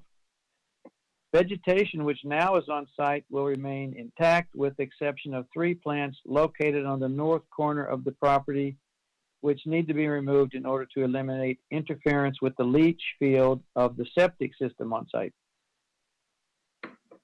Applicant has requested no submission or performance waivers from the requirements of the Kennebunkport Land Use Ordinance. Pursuant to the requirements of Article 1010A of the Land Use Ordinance, guidelines for decisions, the planning board shall approve a site plan application unless it makes a negative ruling on one or more of the following identified findings which would otherwise compel denial. 14A. The proposed use meets the definition or specific requirements set forth in the land use ordinance and will be in compliance with applicable state or federal laws finding yes. B. The proposed use will not create fire safety hazards and will provide adequate access to the site or to the buildings on the site for emergency vehicles, finding yes. C, the proposed exterior lighting will not create hazards to motorists traveling on adjacent public streets and is adequate for the safety of occupants or users of the site and will not damage the value and diminish the usability of adjacent properties, finding yes. D, the provisions for buffers and on-site landscaping provided provide for adequate protection to neighboring properties from detrimental features of the property. Finding yes. E, the proposed use will not have a significant detrimental effect on the use and peaceful enjoyment of abutting property as a result of noise, vibrations, fumes, odor, dust, glare, or other cause. Finding yes. Comments. This commercial facility abuts residential areas. The commercial facility is intended for weekday activities only between the hours of 7 a.m. and 5 p.m. Monday to Friday, Facilities shall include provisions for sound attenuation and noise abatement in order to limit noise polluting pollution emanating from the facility to EPA, NIOSH, and OSHA requirements such as 85 decibels on the A scale for all workers during an eight-hour day, 55 decibels on the A scale measured at residential areas during the day, and 47 decibels on the A scale measured at residential areas during the night from 10 p.m. to 6 a.m. F. The provision for vehicular loading and unloading and parking and for vehicular and pedestrian circulation on the site and onto adjacent public streets will not create hazards to safety. Finding yes. Comments. Facility previously was used in a related capacity as lobster and seafood distribution warehouse. Established access and parking areas for vehicles and pedestrian use remain in effect. G. The proposed use will not have a, de- a significant detrimental effect on the value of adjacent properties, which could be avoided by reasonable modification of the plan. Finding yes. Comments. Facility previously was used in a related capacity as lobster and seafood distribution warehouse. Facility will not be used to process seafood. Facility will be used only in the context of wholesale distribution and brokering of fresh and frozen seafood products. H. The design of the site will not result in significant flood hazards or flood damage and is in conformance with applicable flood hazard protection requirements. Finding yes.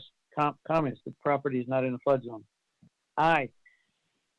Adequate provision has been made for disposal of wastewater or solid waste and for the prevention of ground or surface water contamination. Finding yes. Comments. Existing septic system has excess capacity. Four employees are planned. The septic is sized for up to 20 employees. Installation of a garbage grinder type disposal is not recommended without the addition of an additional 1,000 gallon septic tank or septic tank filter, filter installed upstream of the existing septic tank. J, adequate provision has been made to control erosion or sedimentation, finding yes. K, adequate provision has been made to handle stormwater runoff or other drainage problems on the site, finding yes. L, the proposed water supply will meet the demands of the proposed use or for fire protection purposes, finding yes. M, adequate provision has been made for the transportation, storage, and disposal of hazardous substances and materials as defined by state law. Um, I said this is not applicable. It's either that or yes. I have a comment. The comment is applicant confirmed that no hazardous or toxic substances will be stored on site or used in commercial activities on site. The dumpster on site will remain out of sight and will be for only everyday household trash. N. The proposed use will not have an adverse e- impact on significant scenic vi- vistas or on significant wildlife habitat, habitat, nor will have such an impact that could be avoided by reasonable modifications of the plan. Finding yes. Comments. The proposed changes will not affect scenic vistas or significant wildlife habitat. O. The proposed use will not cause unreasonable highway or public road congestion. Finding yes. The comments. The proposed use will continue commercial activities, including deliveries and shipment of products. P. Existing off-site ways and traffic facilities can safely and conveniently accommodate the increased traffic generated by the development as far away from the development as the effects of the development can be traced with reasonable accuracy. Yes, comments, the proposed activity, the proposed changes will not increase traffic. Okay. So conclusions. Article 1010A of the Land Use Ordinance mandates that the planning board shall approve a site plan application unless it makes one or more identified findings that would otherwise compel denial. And as noted above, the board makes no such finding. Um, so, decision, the site plan application identified above is hereby approved. And conditions. Conditions of approval, if any, pursuant to Article 10.11 and 10.12E. Number one, first condition. Pursuant to Article 10.11, the Planning Board attaches the following conditions to the approval of the application. A, the existing woodland buffers must be maintained. B, the facility's level of use as described above, particularly in paragraphs 10, 11, 12, 14.e, and 14.i, must not be increased. C, approvals are contingent upon applicant's successful conclusion of purchase and sale agreement dated 28th of April 2020. Should the applicant not complete purchase of property, approvals will revert, will revert to those of landscaping equipment warehouse. D, continued use until the 1st of October 2020 by the current owner, Corsi Holdings LLC, of the site as temporary storage for landscape materials does not constitute approval of the site for two uses. This is a concession proposed by applicant to allow current owner to fully relocate to new location elsewhere. Two, the applicant pursuant to 10.12.e shall notify the planning board prior to the transfer of rights to construct an approved project. Three, the applicant must record a copy of this decision and provide proof of such recordation in the York County Registry of Deeds before any permits may issue or before any construction activities may commence. Four, the applicant shall compel all terms and conditions comply with, sorry, applicant shall comply with all terms and conditions of the Town of Kennebunkport ordinance as well as the Maine DEP approvals dated the 17th of June 2020. That's it.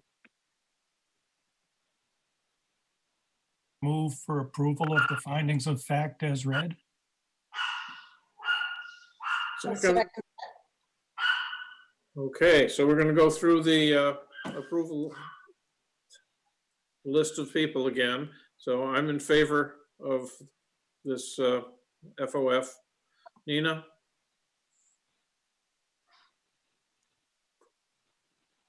Aye. Say it again. I'm sorry. Aye. Okay, good. Ed, Aye. Larry, Aye. Scott? Aye. Okay. Excuse me. So, Mike, thank you. Uh, We'll, we'll uh, sign this finding of facts over the next couple days at, at Town Hall, and then you have to take and get it uh, recorded. Okay, Uh, great. I have a, just a quick question for uh, Larry. Is this, um, so what you read, that was uh, draft version two, correct? Yes, this one, well, no, this is the final. It doesn't have a, it doesn't have a watermark on it. This is Okay. The final version. All right, yeah, just checking. So I know which Yeah. one I'm printing. Okay, thank you. Thanks. Thank you. Okay, thank you. Thank you, Mike. Okay, the next and final item for the evening is the Kennebunkport is item, let's see, do it right. Item 200203, Kennebunkport Heritage Housing Trust, Sebago Technics, authorized agent, preliminary subdivision, public hearing for approval to create four lots containing two single-family dwellings, two duplex units, and a 4.47 acre parcel of Main Street, Assessor's Tax Map 22, Block 9, Lot 21 in the Cape Porpoise West Zone. And now we need to bring Steve Doe into the picture. So Dave, can you find Mr. Doe?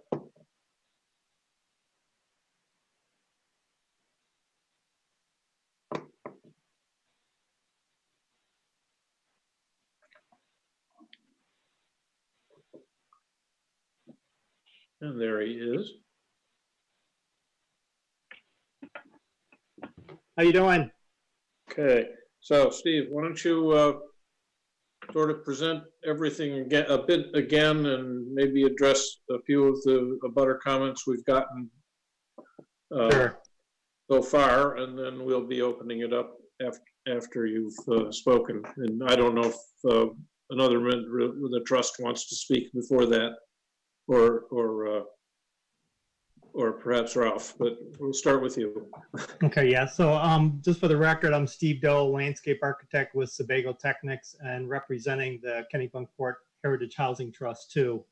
Um, at the last meeting, uh, the board had asked us to provide um, some responses to the letter from uh, um, Kenneth Olson, Um, Olson dated June 3rd. Um, so on June 10th, we submitted a, a letter through Werner's office um, addressing their five uh, comments. Um, I think it's pretty clear what, you know, I can go through those if you'd like, um, or answer any questions you have on that letter.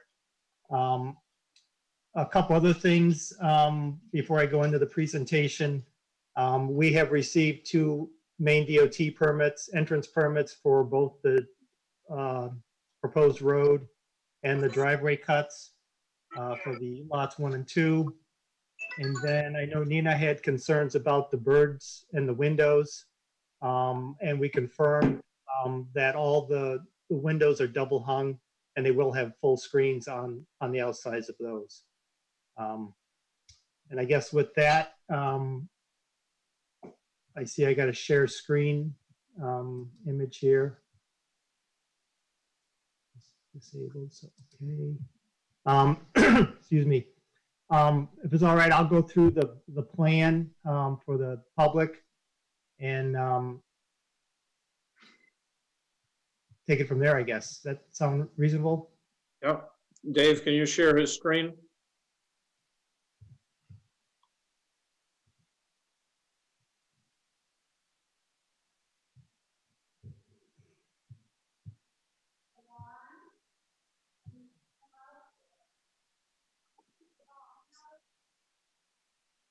All right, let's see.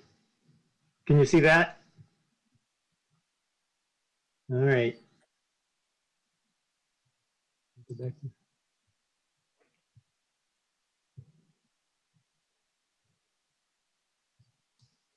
Oh, there we go. I found it.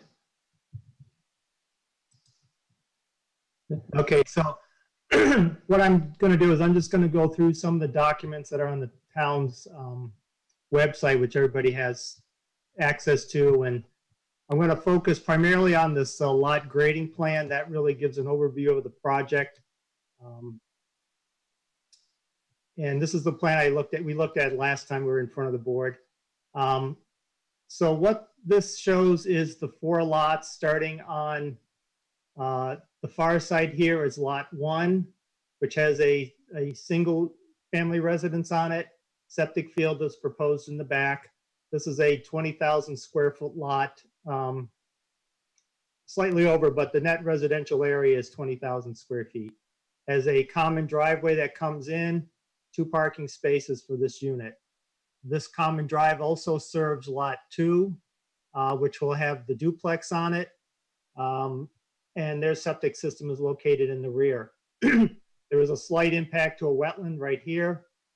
Um, and then both of these will be served by public water, uh, which is across Route 9 here.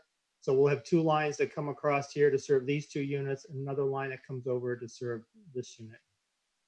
And then as we move down, um, this area right here is where the existing skating rink and parking area is.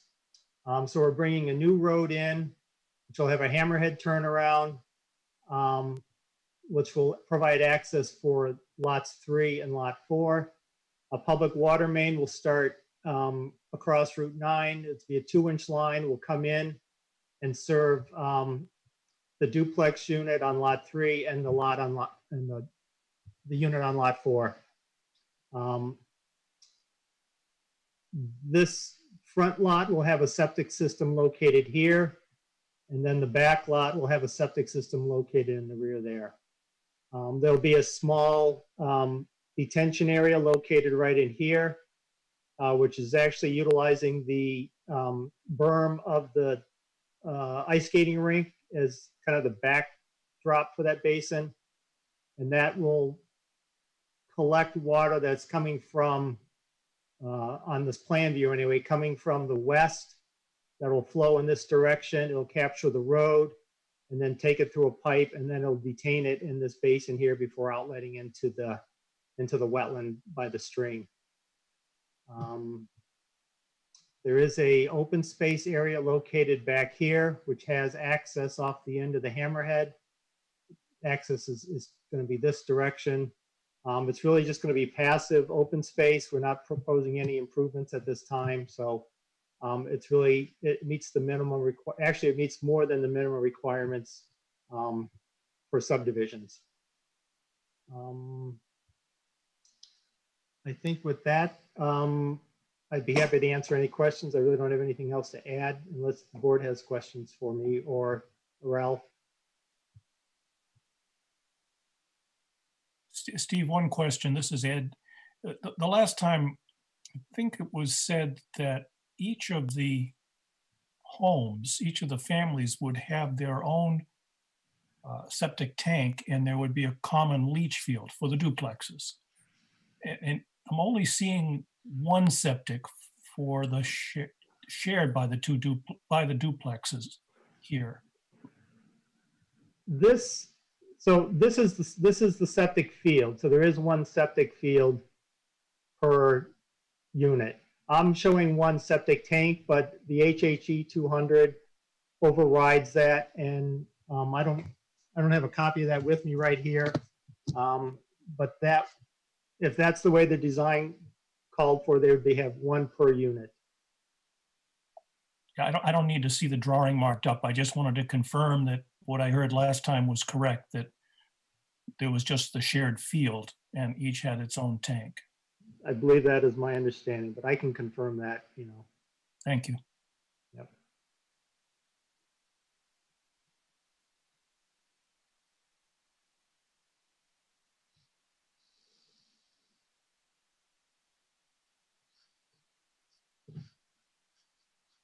Yep. No, he, why don't we bring Ralph in? That's fine. He's part of the presentation, so that's fine. And you can take Steve's picture down, probably.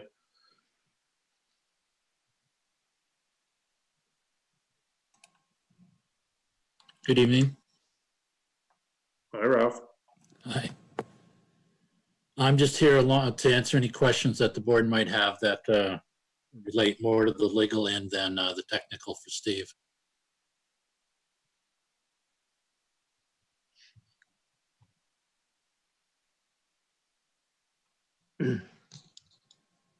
Well, I have a question about fi- finances. Uh, It's come up in Mr. Olson's letter. Oh, For subdivision, we, you normally ask for a bond. The question is, you know, uh, how, how is the Heritage Trust going to guarantee um, the finances around this for not just the construction of houses, but the construction of the roads and everything that has to be prepared. Um, I think we need to step back for a second. What, what the board is going to be, if it approves, uh, is the division of land. You're not approving the construction of the houses. Um, Under the subdivision regulations, the board does have to have, or the applicant does have to have the financial capability and has to provide performance guarantees for required improvements. Under the subdivision regs, the required improvements are uh, the roads, um, any sidewalks or curbing if there's any, um, utilities, the, the septic and, and the water. Um, and so as part of this process, when we get to final, we will have information for the performance guarantee. But that doesn't relate to the construction of the houses. Okay, so the performance guarantee will be basically for all all of the roads, the septic systems, everything else. If I could clarify it, it doesn't include the septics. It would really be the road and the water main that goes into it, any improvements in the road, but not improvements on the lots themselves. Um, it would cover the detention basin and the storm drain for that. Yeah, I stand corrected. Steve's correct on that.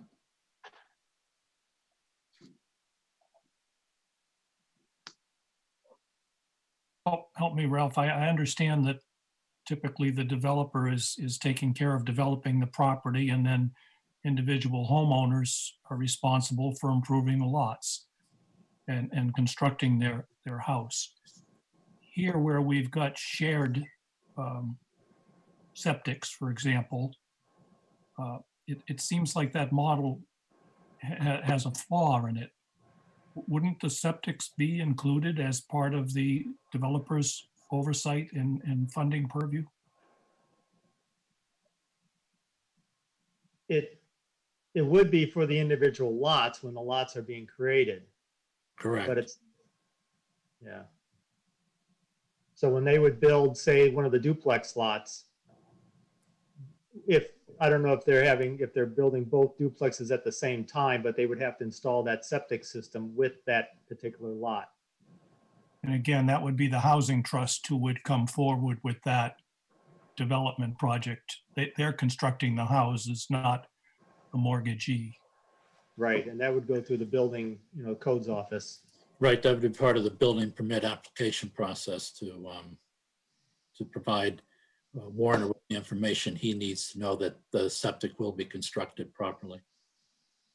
I, I have a bit of confusion that just generated by hearing this, this talk. Now, a duplex, what normally would happen in the real world would be that somebody would build the duplex and then sell the hat, the other, sell one or two halves. Now, in this case, you're saying that, that the, that the future owner is the mortgage, mortgagee to build the duplex, but you gotta have, two. it takes two to tango to build a duplex. So it's like combined, these two people have to be mortgaging at the same time to, it's, it's a little confusing if, uh, how that works exactly. Well, yeah, I mean, I presume, well, I don't know. I, I don't know what the trust plans are. uh, And if any of the trust members can, can join in. Um, As far as when they construct a duplex, I, I presume they're constructing both at the same time. Um, But um, we would set the uh, documentation up such that uh, they could be financed separately. Obviously, though, the shared elements would, would not be financed separately. Or half, half each? Yeah, I mean, the way it would typically be in a, in a situation like that is um, the first person in may have to pay for all of it and then get reimbursement from the second person in.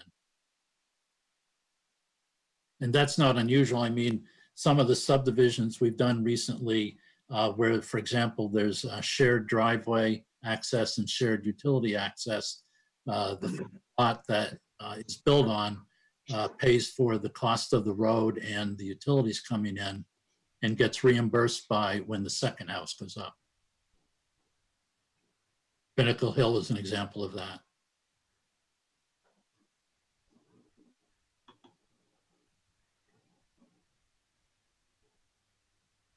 Okay. So any other questions before we uh, open up the uh, public hearing at this point? I believe you had Pat Clancy. I thought I saw raise, uh, raise his Okay. hand as a member of the trust. Good. Let's hear Pat. Be- Before, before we go to the public, No, he's not, part- he's part of the trust. okay.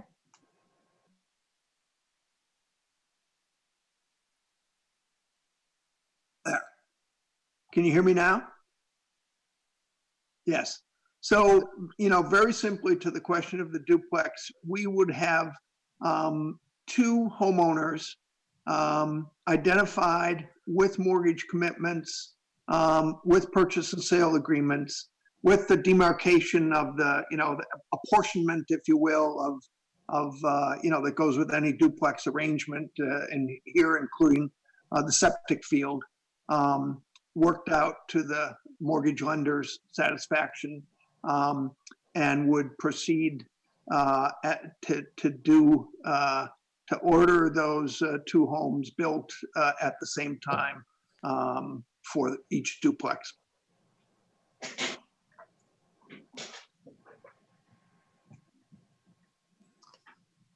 What if you only have one?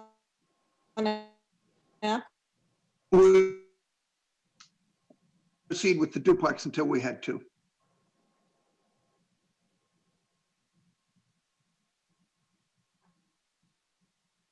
Could you hear me? I have another question, comment for Steve. Steve, can you hear me?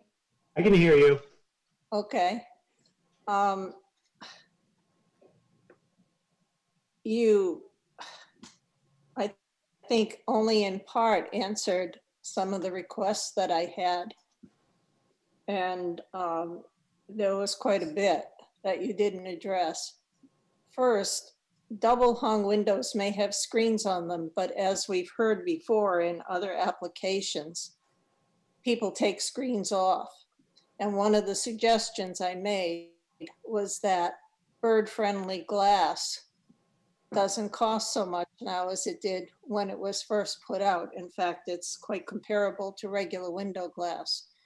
And I suggested that the bird-friendly glass be put into these houses. This is an opportunity basically to teach people coming into Kennebunkport how important it is surroundings about them. And in conjunction with that, the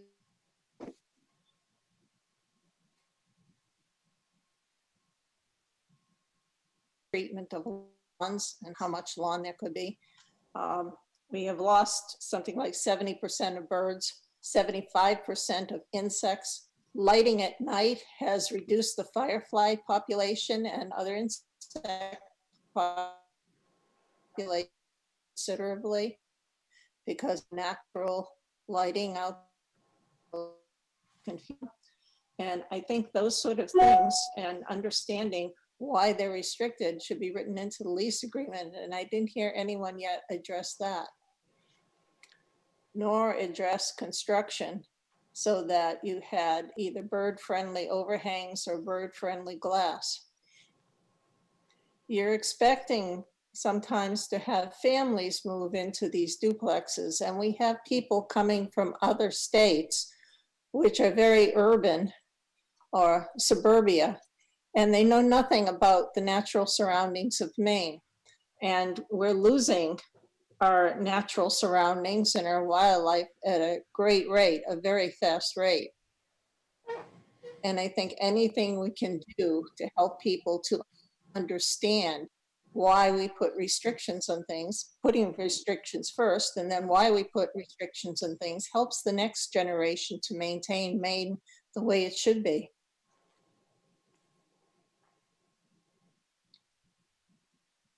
If this is going to be town controlled or heritage trust controlled, I think we can control our environment a little bit.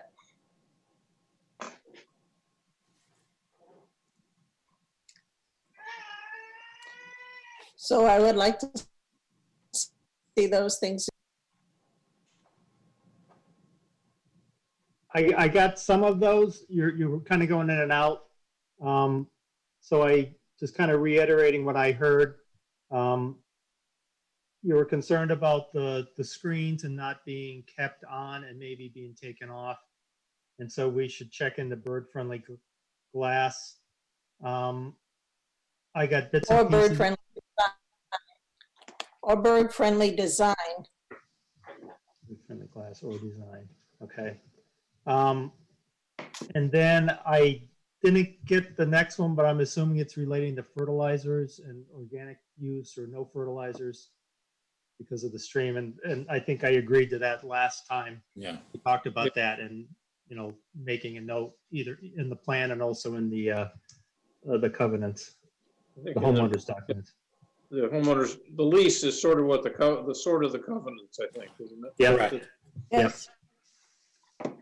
Um, And then the rest of it, I really didn't, it was kind of broken up. Um, I, I understood about make, educating, uh, the people that are coming in, assuming they're from out of state or out of town. I think the goal is to get people that are more local. Um, but again, making them aware of the environment and, you know, what, what we're all about over here.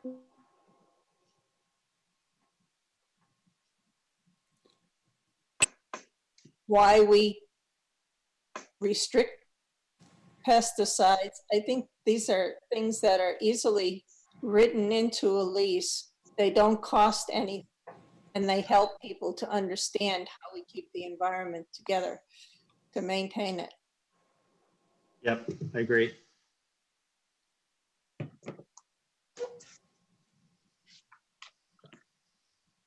Your goal.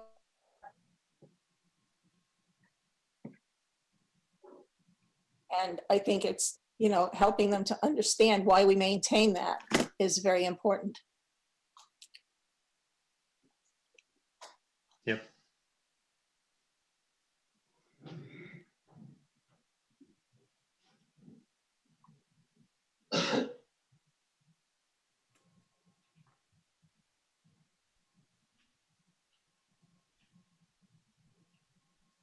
Okay, um,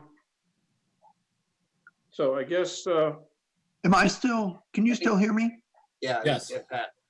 Okay, um, uh, so, you know, just to add to what Steve said, I think that we uh, we are certainly prepared to incorporate the, um, the, the, uh, continued, continuous use of the screens as well as, um, uh, restrictions on pesticides and fertilizers, um, in the lease, as you, uh, uh, suggest, Nina. Um, I did inquire, um, you know, again, we're working very hard to make these homes as cost effective as we can. I did inquire of uh, uh, our builder whether the glass manufacturer made a, uh, a more bird friendly product. This particular glass manufacturer does not. And the glass manufacturer is the one regularly used by the um, the modular facility that we'll be doing. So to switch manufacturers would, would be a cost to us. And I think for this, that that's, you know, that, that, that we can't afford that. We also have a very simple and, and I think attractive, but simple design. And to introduce overhangs would both be a cost and would also, I think, be an aesthetic detraction from the nature of the design that we have. So, you know, we are prepared to incorporate a provision for use of screens. We are prepared, and in fact, we'll reach out to you when we're doing it um, to make sure that our educational process with homeowners, which is a, a requirement for first-time home buyers um, around kind of, you know, um, uh, financial obligations, but that that is more extensive in terms of environmental elements as well, um, and uh, and to incorporate uh, some of the things that you've described in, in what we communicate and try to raise the consciousness, even if the, even if the, our buyers are in fact local. I understand that. Um, have you even inquired into uh, bird-friendly design on the houses? It seems to me that if you had started, and I suggested long time ago that you look into bird-friendly designs, that your architect could basically investigate various ways to incorporate that into the houses. Now you have a plan, but nobody has, seems to have looked into this at all. And so, excuse we- me if know- I'm a little bit peeved. ab- Yeah. Um, I, I, I will. I mean, we haven't, you know, uh, you know, we're, we're, we're trying to comply with the existing requirements. I understand this is an area where the requirements may expand over time, but as of now, we're certainly working to comply. And, you know, we have been working with a, um, uh, I think an, an architect that, uh, you know, that has done work in Kennebunkport extensively, Caleb Johnson, that is, you know, a, a sensitive designer and, um, uh, you know, um, we will continue to do so, but um, uh, I, I, I think, you know, uh, I, I, I think incorporating into the lease, uh, use of the screens and, uh, re- restrictions on pesticides and fertilizers is, is where we're at.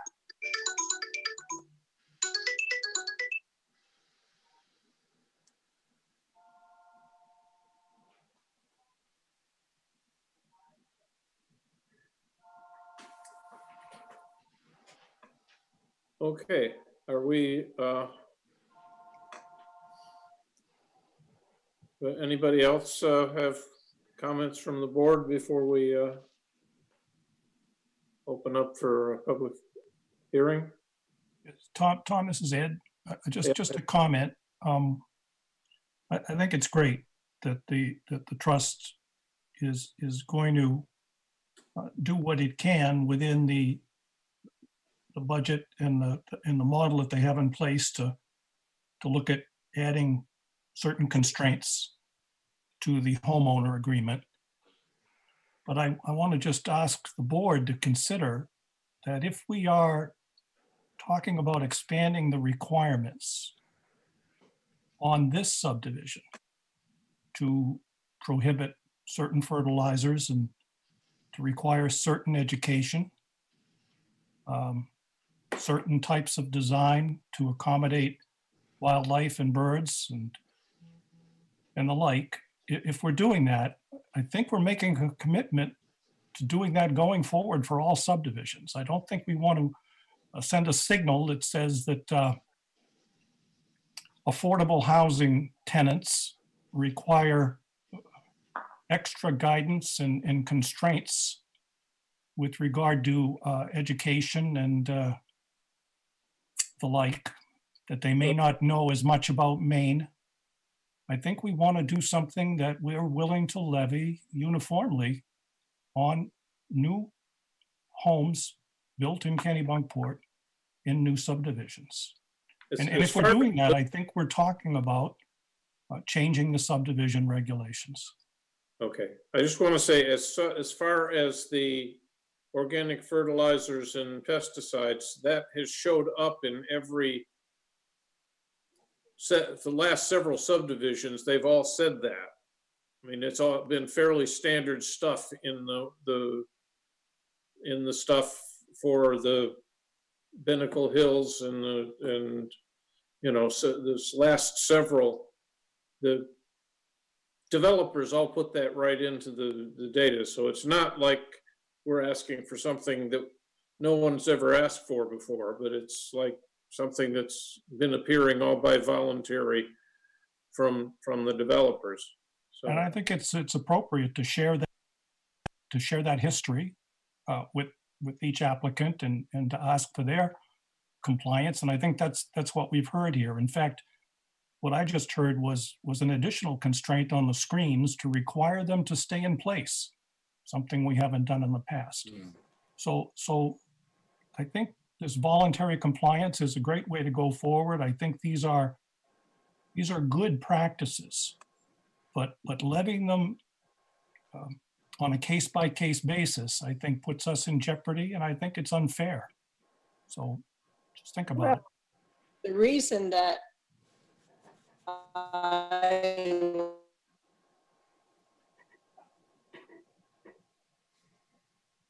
Can't, can't hear a thing. this is something that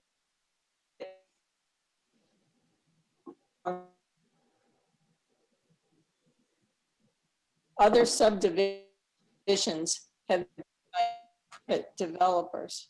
The trust basically is a corporation, or not a corporation, yeah, 501c3 corporation that's been set up to help the town put in affordable housing. And so I think we can require there.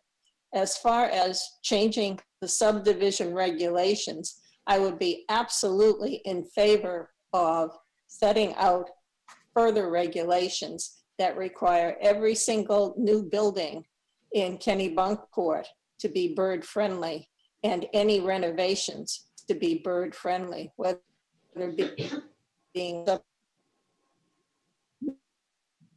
Toronto do that. I think we could do that.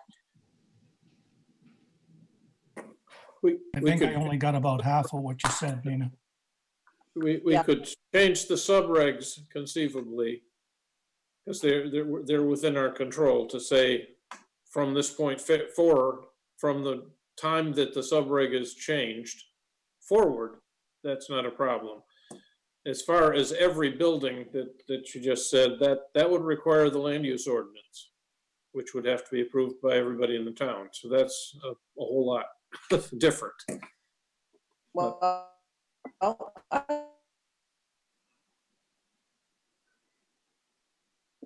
and this, I don't think it's so expensive these days to plan ahead to protect birds as we're losing them at a great rate. And I think it's one of the things that make Kennebunkport so rich in diversity of wildlife to have all the birds around. And I'm seeing fewer and fewer of them as are other people. Did that come through? It If I switch over to, if- if I switch over to my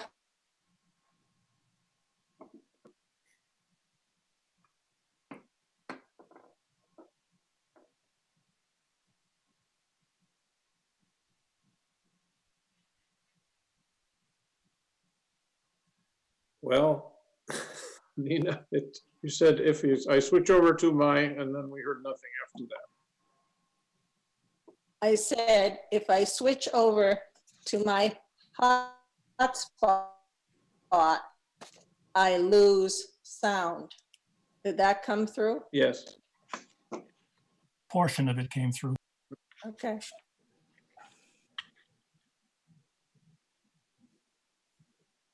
so anyway, Nina, it may be useful if you turn your video off. It may give you a little more bandwidth. I have tried that in the past, but sometimes it works and sometimes it doesn't.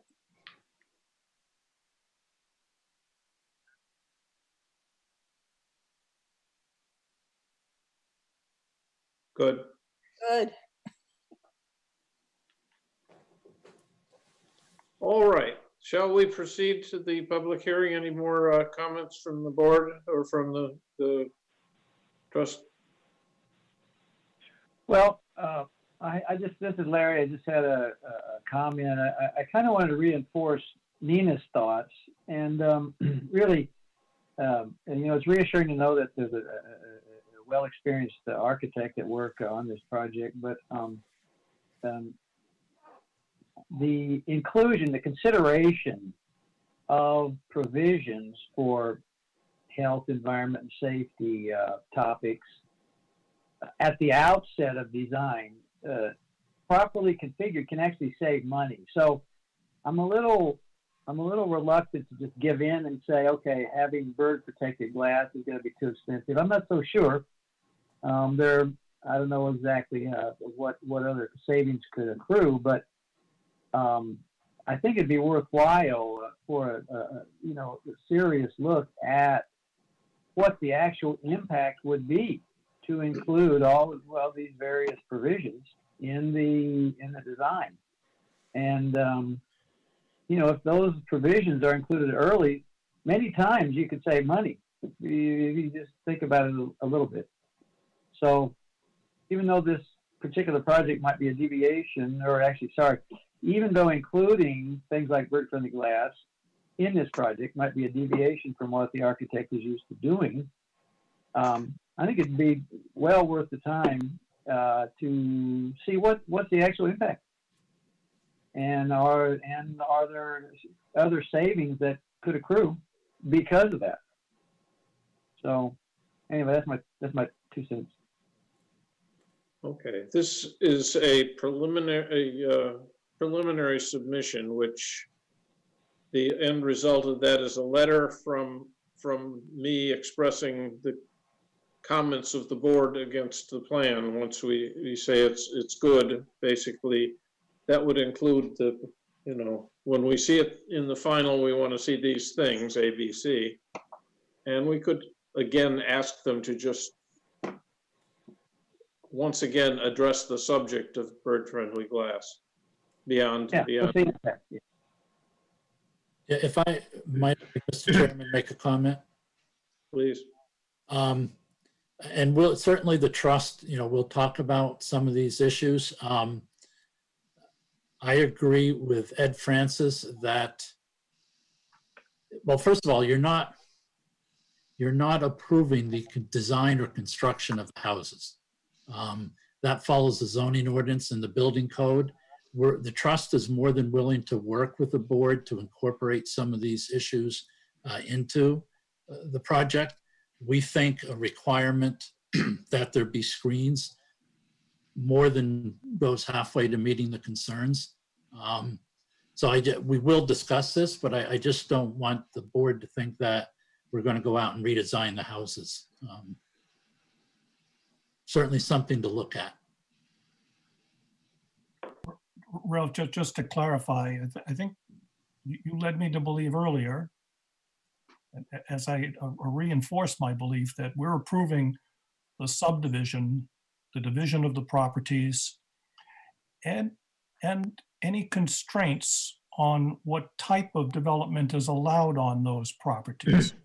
So for example, we could, in approving the preliminary or the final, say, um, that yes, you, you, this property uh, will, will only be allowed to use organic fertilizers, for example, even though the lawns aren't being approved yet and where they're, exactly they're gonna go and the houses aren't being built. So, so we could, um, if, if we thought it was right, add a stipulation that said only houses that met some federal guideline for, for bird friendliness would be allowed there. That, that's how we'd have to go about it, because we're not approving the house design at this juncture. That, that is correct. Is that fair?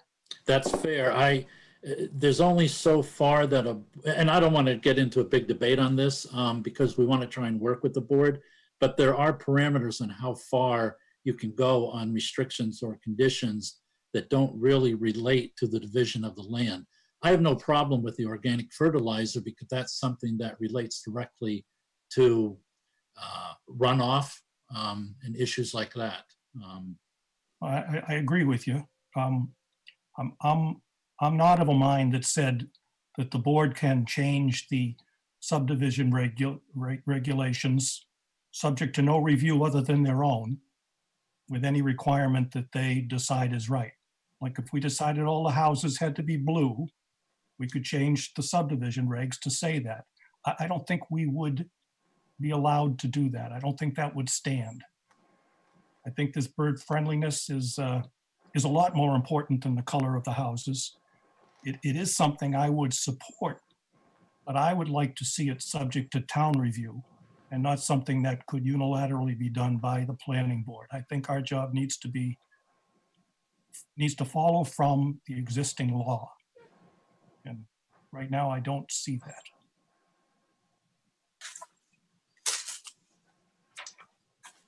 Okay. Um, assuming I've got no more comments from the board, I'm going to ask the public for the first, uh, public hearing. Could, uh, someone, uh, raise their hand?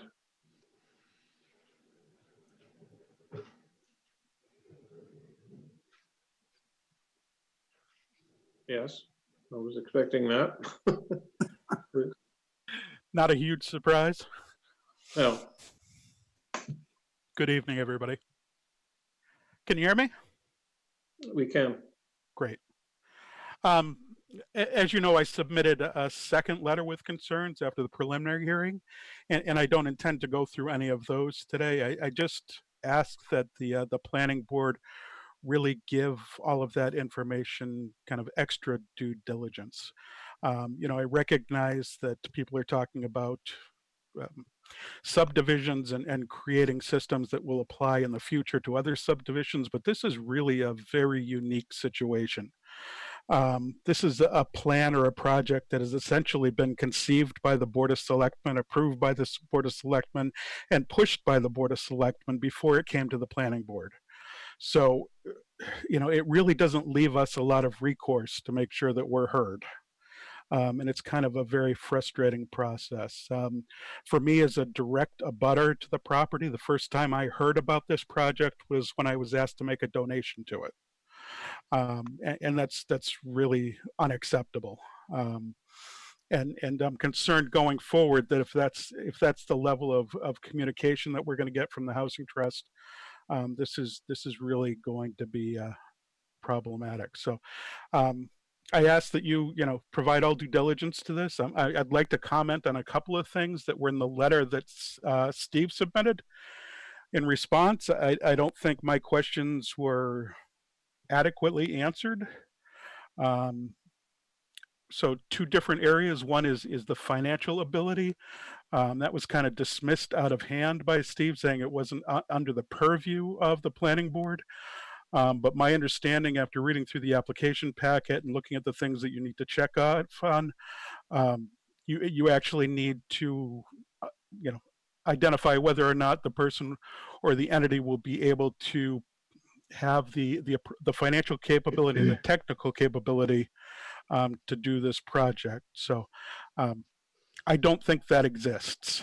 And, and I outlined a lot of those issues within um, within the letter I sent. Um, just so you know, in terms of my background, uh, why I'm so vociferous about this, so passionate. Um, I, I, currently consult the nonprofits. Um, I was an executive director for 35 years to nonprofits that provided residential services. Uh, the last one I did, we had uh, approximately 70 different residential services, so I'm very much aware of the costs that go into these things um, and the level of oversight and management that's concerned. Um, you know, I'm not even sure that this has been appropriately handled by the town at this point. Um, I, I, don't see how it works as a model. Um, my estimate looking at it roughly is you could have $100,000 in administrative costs by your second year of doing this, given the things that you're asking the trust to do um, just with the lease agreements. So it, it's going to be a very expensive project to run. It doesn't seem viable to me. I don't even know how they're going to put the infrastructure in place on the land when they haven't done any fundraising since last year. Um, and, and, don't seem to have much in the way of, of cash on hand. Um, you know, it, it's uh, part of what I mentioned too is is that you know the underlying goal of this seems to be to keep the consolidated school open um, and as I read through um, all of the information that's been listed um, in terms of that lease agreement, it really seems like we're almost taking advantage of the low income potential buyers rather than providing them with an opportunity. And, and uh, and I hope those concerns will be addressed by the town and the, the Board of Selectmen. Um, so uh, the wetlands issue is is the one that I really wanted to uh, bring up because um, it was kind of dismissed out of hand. Um, Steve mentioned in his letter um, that James Logan of Longview Partners had mapped the wetlands. Um, first, there's there's no mention of that in in um, in James's report. I don't see anything listed about the wetlands. Uh, second, uh, James Logan is a soil scientist. He is not a wetland scientist, um, so he's not licensed or certified to provide that opinion. Um, I'd ask that somebody who has that kind of a background be called to do that. Um, also, the two letters that they submitted with their application, one from the Maine Department of Fisheries and Wildlife, uh, they recommended that a significant vernal pool survey be conducted. Um, I'd ask if that has been completed.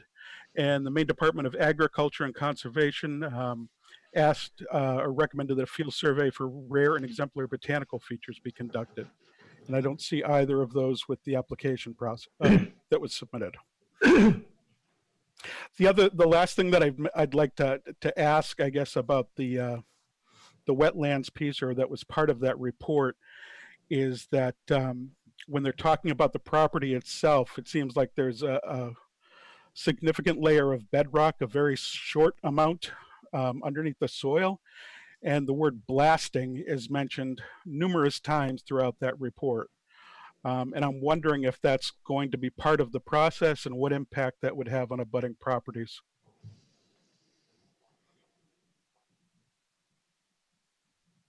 Steve, can you uh, comment? Yeah, um, I'm gonna, uh, on the financial piece, I would refer to Pat Clancy on that, but I'll go through the other issues that um, Ken talked about. so as far as the uh, the wetlands, even though Jim Logan is a soil scientist, he also does wetlands. That's very common that soil scientists um, do wetland mapping. Um, part of the identifications of wetlands is knowing the soil types, uh, whether are hydric soils, uh, vegetation, um, and, and Jim's very qualified to do that. And he But, has mapped the wetlands out there. That's, that's Um, not what's indicated online. Um, if you look at who's qualified to do that, he doesn't have the certifications to do wetlands mapping. That's the first I've heard of it because I've known Jim for many years and he's he's done wetlands as many years as I've known him. And the is- boards have accepted his work. Exactly. Well, maybe improperly so. Well, I would disagree with that, but um, as far as vernal pools, Jim also does vernal pools and he did not identify any vernal pools on the property. Uh, I am aware that the letter from uh, Inland Fisheries did note that, uh, but that's a standard item that they have because they don't have data on every property as far as vernal pools, so. But that is the, uh, something the satellite, the satellite can map of the picture clearly Please- shows there's a vernal pool. Yeah, Mr. Olson, please let him Yes. finish. So um, with a vernal pool, you have to have a wetland component. And I did look at that image that you sent. Um, that is not a vernal pool, that is clearly an upland area.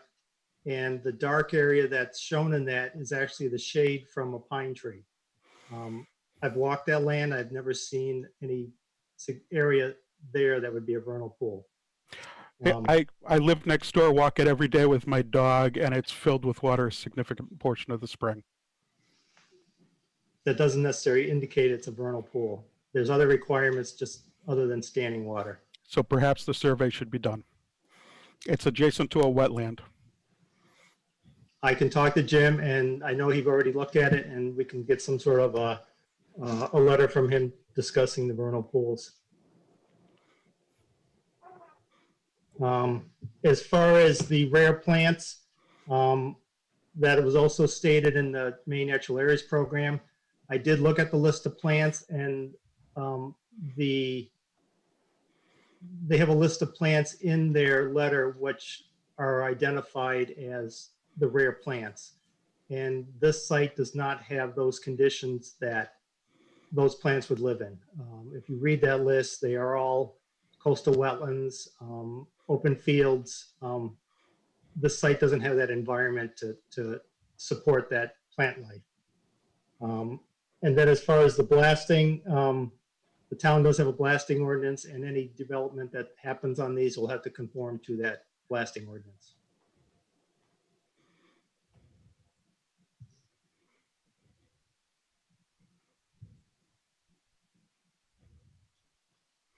As far as the uh, financial situation, that is something that is done in the final plan, not in the preliminary plan.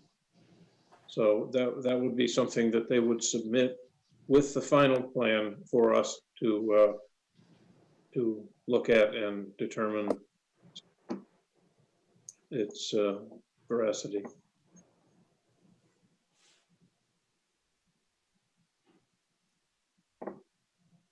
I keep coming back to the financial ability. And you didn't listen to what I just said either, did you? Nope. So we'll see the financial ability in the final plan, assuming that we approve the preliminary plan.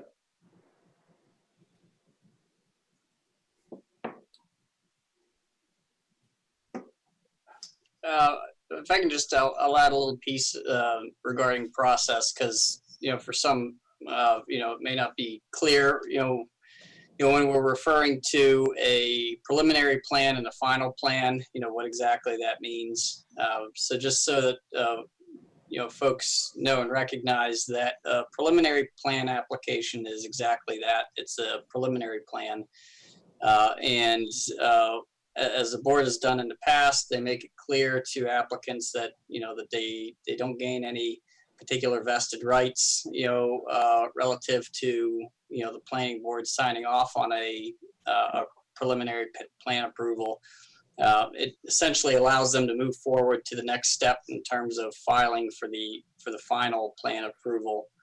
Um, you know, so right now the purpose is essentially to vet some of the big questions. Uh, you know, which is what you know, which is what the board is doing right now. You know, you're vetting some of the big questions uh, that you know that the trusts uh, will need to go back and address. Uh, but just to reiterate, you know, the um, financial uh, financial capacity component questions are are you know the specifics are all typically addressed and you know that information gets provided in the final plan application um, you know of which you know not only does the board review uh, but the town uh, town manager as well as myself review uh, and in, ensure that uh, there's adequate funds relative to the to the required improvements for any subdivision plan.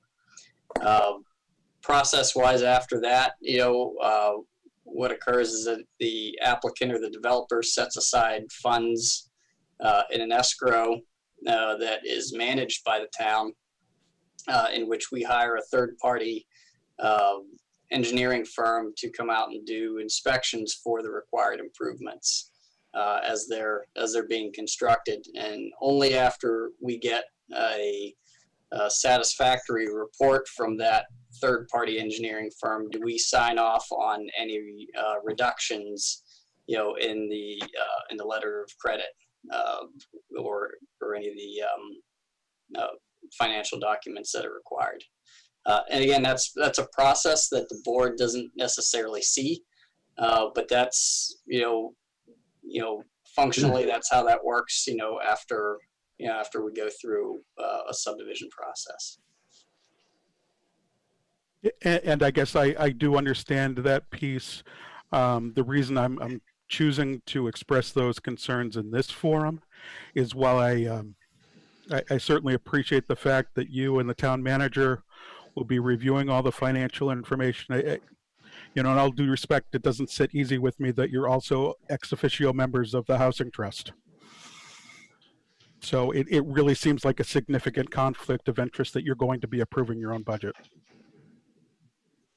Uh, you know, and no, I, I can I can understand the question. You know, it's uh, you know it's something that um, you know I mean we're a small community, and so you know we draw on you know the resources that we have at hand. Uh, you know, and you know when when we do look at you know the estimates that are put forward, you know we ask for actual estimates that come from you know that come from you know that, that don't just come from uh, a, a, planning document. Uh, you know, I don't I don't set up uh, you know a developer's budget. You know, in terms of estimating what the costs of the infrastructure or improvements are. You know, when it comes time to you know before we you know before we sign off on on them getting started you know we're looking for the actual estimate that's coming out from you know from contractors who are going to be doing the work uh, and and that's the those are the numbers that we you know that we look at and those are the numbers that you know that get relied upon uh, and those are also numbers that you know get signed off uh, you know by the bank as well you know that's uh, that's providing the funds. In this in this unique situation where potentially the trust or the, the responsibility for the trust could fall back to the town is that a consideration that's that's looked at? I mean next year's budget my understanding is we're already looking at a $650000 revenue shortfall. Um, to add this level of risk on top of that seems unwise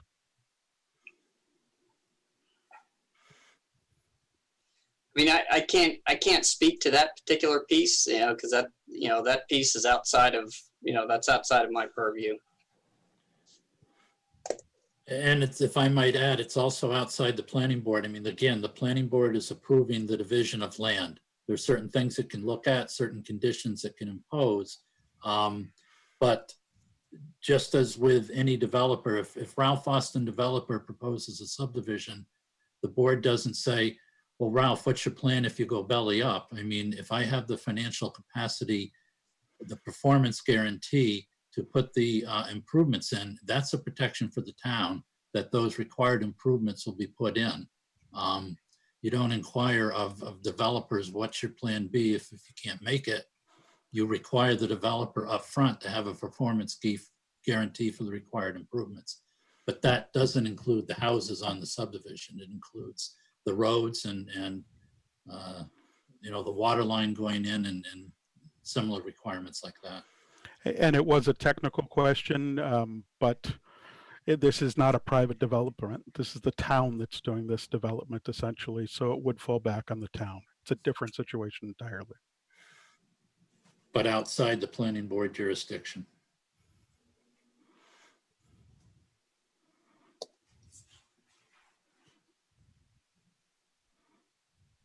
Okay, um, so do you have any other comments? uh, Or shall we see who else might, might uh, wish to talk?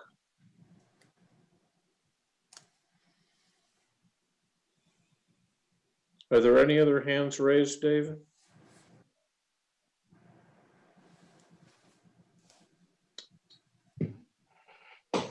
Okay, so Tom, who is, who is D on the, on the participants, on the panelists?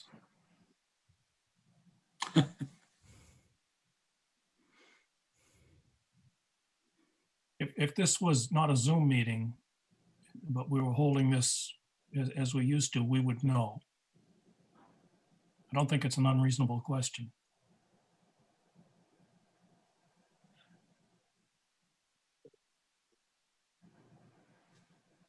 Okay, let's uh, recognize Mr. Mr. Kling, also a member of the uh, trust. Yeah, Sorry. that- that might be me, Ed. Double dipping. No, just uh, over volunteer. All right, it's clearly an efficiency thing then, yeah.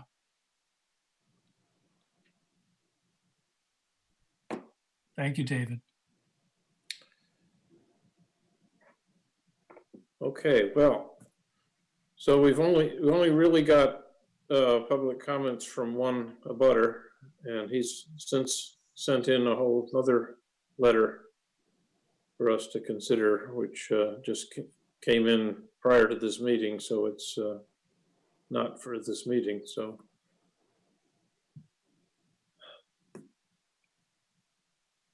Are we uh, at a point of uh, of closing the, the public hearing at this point? Anybody, uh?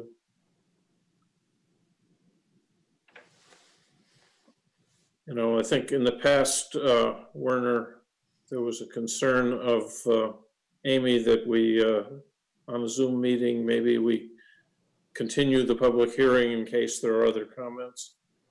And I don't, uh, seeing only one person on, on it, uh, um, That's, that's correct. Um, you know, it, it had been Amy's recommendation to, you know, to allow for, you know, full due process that, uh, you know, that the, that the board, you know, continue its public hearing over the course of two meetings. Uh, you know, it's not that we would necessarily hold a separate, uh, meeting, but it was, you know, a recommendation that we, uh, hold it, hold it over two. So this is a fairly significant one. Perhaps we should just continue this to July 1st, but in the meantime, kind of uh, deliberate about what, what, what I'm going to put in my letter to them that says, yeah, we've approved it and these concerns are out there on the part of our planning board for you to address in the final. I mean, that would, that would be typical of what you've done before in the past. Yeah. So uh, why don't we, I, I'm going to suggest we, at this point, we uh, continue the public hearing to the next meeting and I will uh, try to put together a draft of my letter that we'll, uh, we'll discuss after closing the public hearing on July 1st. We'll do this first thing July 1st. So uh, I guess I need a, I, I'll make a motion to continue the meeting till 1 July.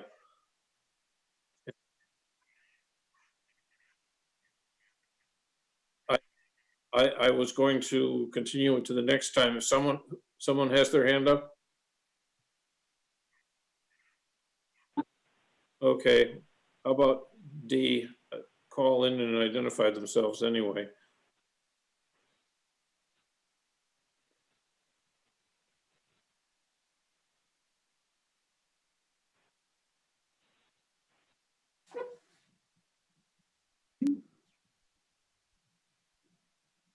D, are you there? Yes, this is Eric Johnson an abutter across the street. Okay. Can you hear me? Better known as a D, okay, It created its own shortcut. yes. Um, Question is, has there been any plans to uh, traffic studies in regards to the traffic speed across throughout this neighborhood?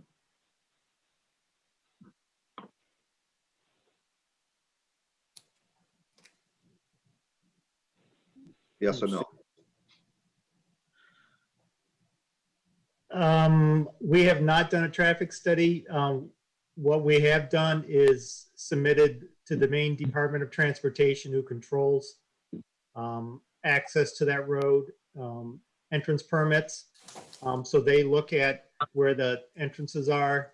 They look at sight distance. They know the posted speeds and um, we have received permits for both those driveways. Okay, the posted speed is relative to the actual speed throughout here. On a daily basis, traffic goes by here at 50, 60 miles an hour. I don't know if anybody is aware of that. Is, is the posted speed limit not 25? Yes, it is. It's Okay, posted I- at I- 25. because I, I got a warning on it once, that's why I asked. But I was only going 35, so I wasn't going 50.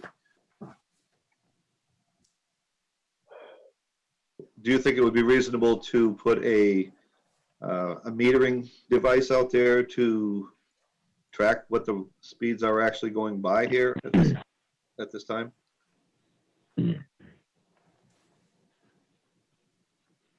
Would that not be part of a traffic study?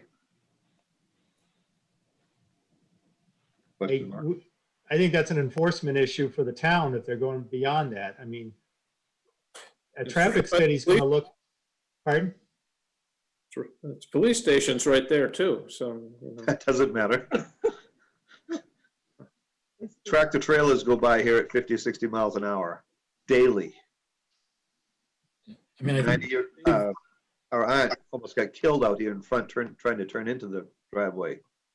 And was caused, was accused of being the fault of the accident when the other party in the accident admitted to doing at least 40 miles an hour. Traffic flies through here. I think what Steve was starting to say was that a traffic study doesn't, you know, that analyzes the number of trips and what's needed for that. It doesn't focus on whether people are speeding. Is that correct, Steve? Correct. Doesn't, it doesn't look at, at speeds or as far as people speeding. Yeah, and a traffic analysis wouldn't be required under the subdivision regs um, unless there were more than 200 vehicles per day. Is My battery's running low, does yours? Eric, Eric, this is Ed. What- What, what are you thinking that the traffic study would, would uh, charger, but would I can give you potentially my result tablet in? If you want to disconnect and reconnect with Yeah, that, I may, I may, or I'll just bring up my laptop for you. my battery's running low. I was just gonna convert over to my phone.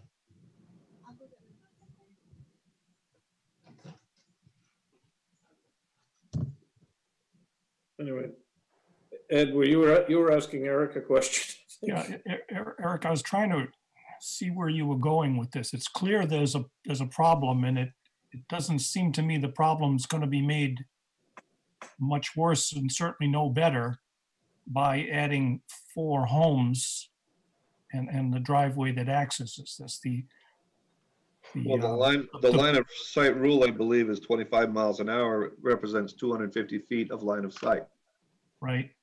okay? So, so Nobody that's, goes 25 miles an hour through here.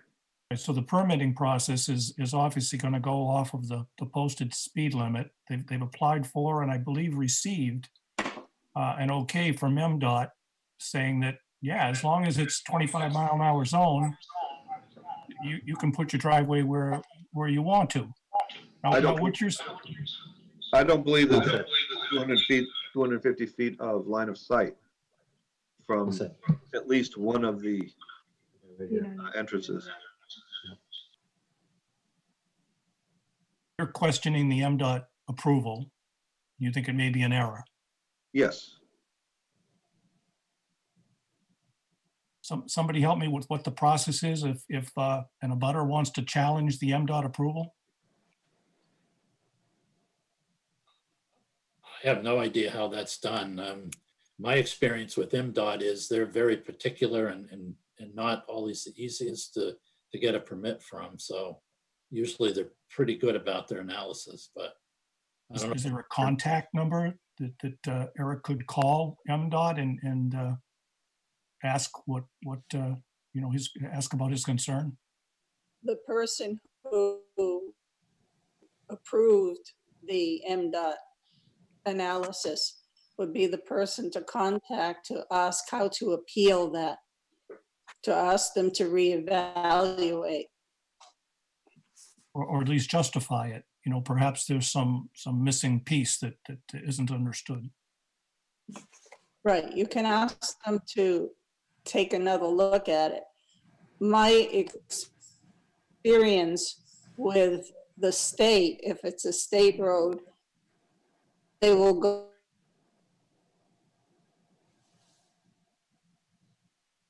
in the post posted speed limit, and that's all they'll do. I'm not sure you would want that.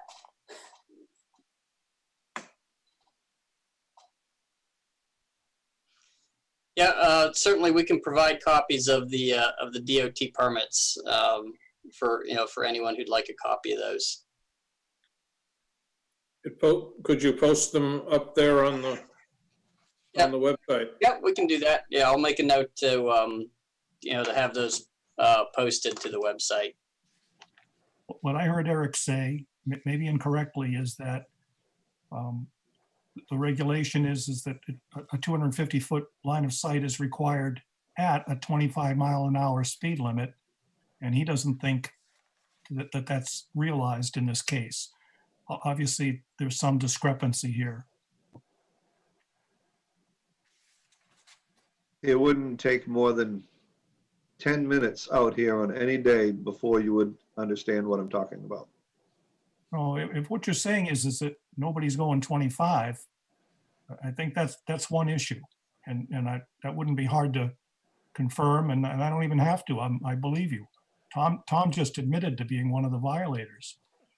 But, uh, I, I think the point you're making is, is that all that aside, even at 25 miles an hour, you don't think there's a 250 foot, the required line of sight. And Well, that that's- seems to me to be very straightforward. That's the requirement. Correct. I think that's where MDOT needs to be engaged, you know, by, by a concerned abutter. Fair enough. And uh, may I just take the second to um, acknowledge Mr. Olson, the abutter, that he has done some extensive uh, efforts into this, and I am pretty much uh, on his, beside him with this, his efforts, because he's really, uh, he's on top of it. I think he's got the right idea, and I think he knows what he's talking about. Eric, you are, you're also an abutter, is that correct? Directly across the street from one of the entrances. Thank you.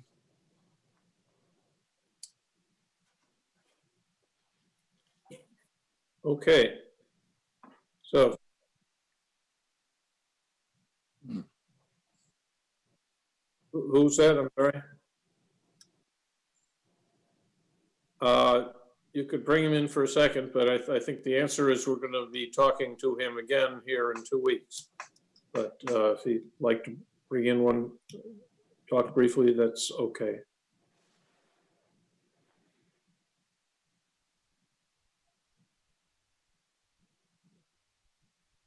Mr. Olson, are you here yet?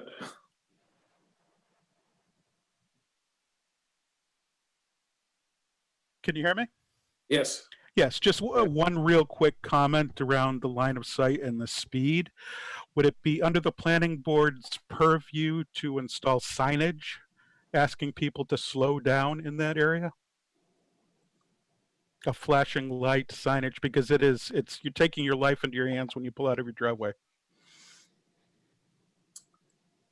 It's one of those we could ask. Uh, uh, You know, give that up to slow children type sign, right? Or, Yeah, I think, uh, you know, and, you know, in terms of that piece, that would be a request that I would make to the, to the police department. Um, you know, and certainly engage the town manager in that, you know, in that request as well. Uh, but typically that's, um, you know, when there's a request for specific signage, uh, that usually goes through the PD. They sit in that lot on a daily basis trying to slow people down.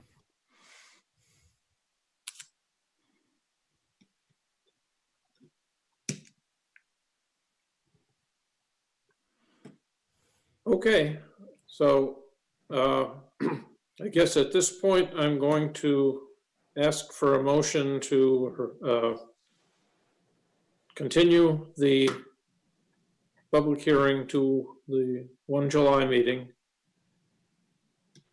So moved. Okay, a second? Second. Larry, okay. Larry, yeah. All right, so I'm gonna go through my list again. I'm in favor of that motion. Nina? Aye. Okay, Ed? Aye. Larry? Aye. Scott? Scott? Aye. Okay, thank you.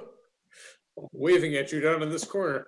Uh, anyway, good. Well, and then I only need one more motion. Oh, I'll to move to adjourn. adjourn. Okay, I have a motion to adjourn. Second. A second. All in favor? Aye. Aye. Okay. All right, everybody's waving, and and so we are, we are adjourned. Thank you, David.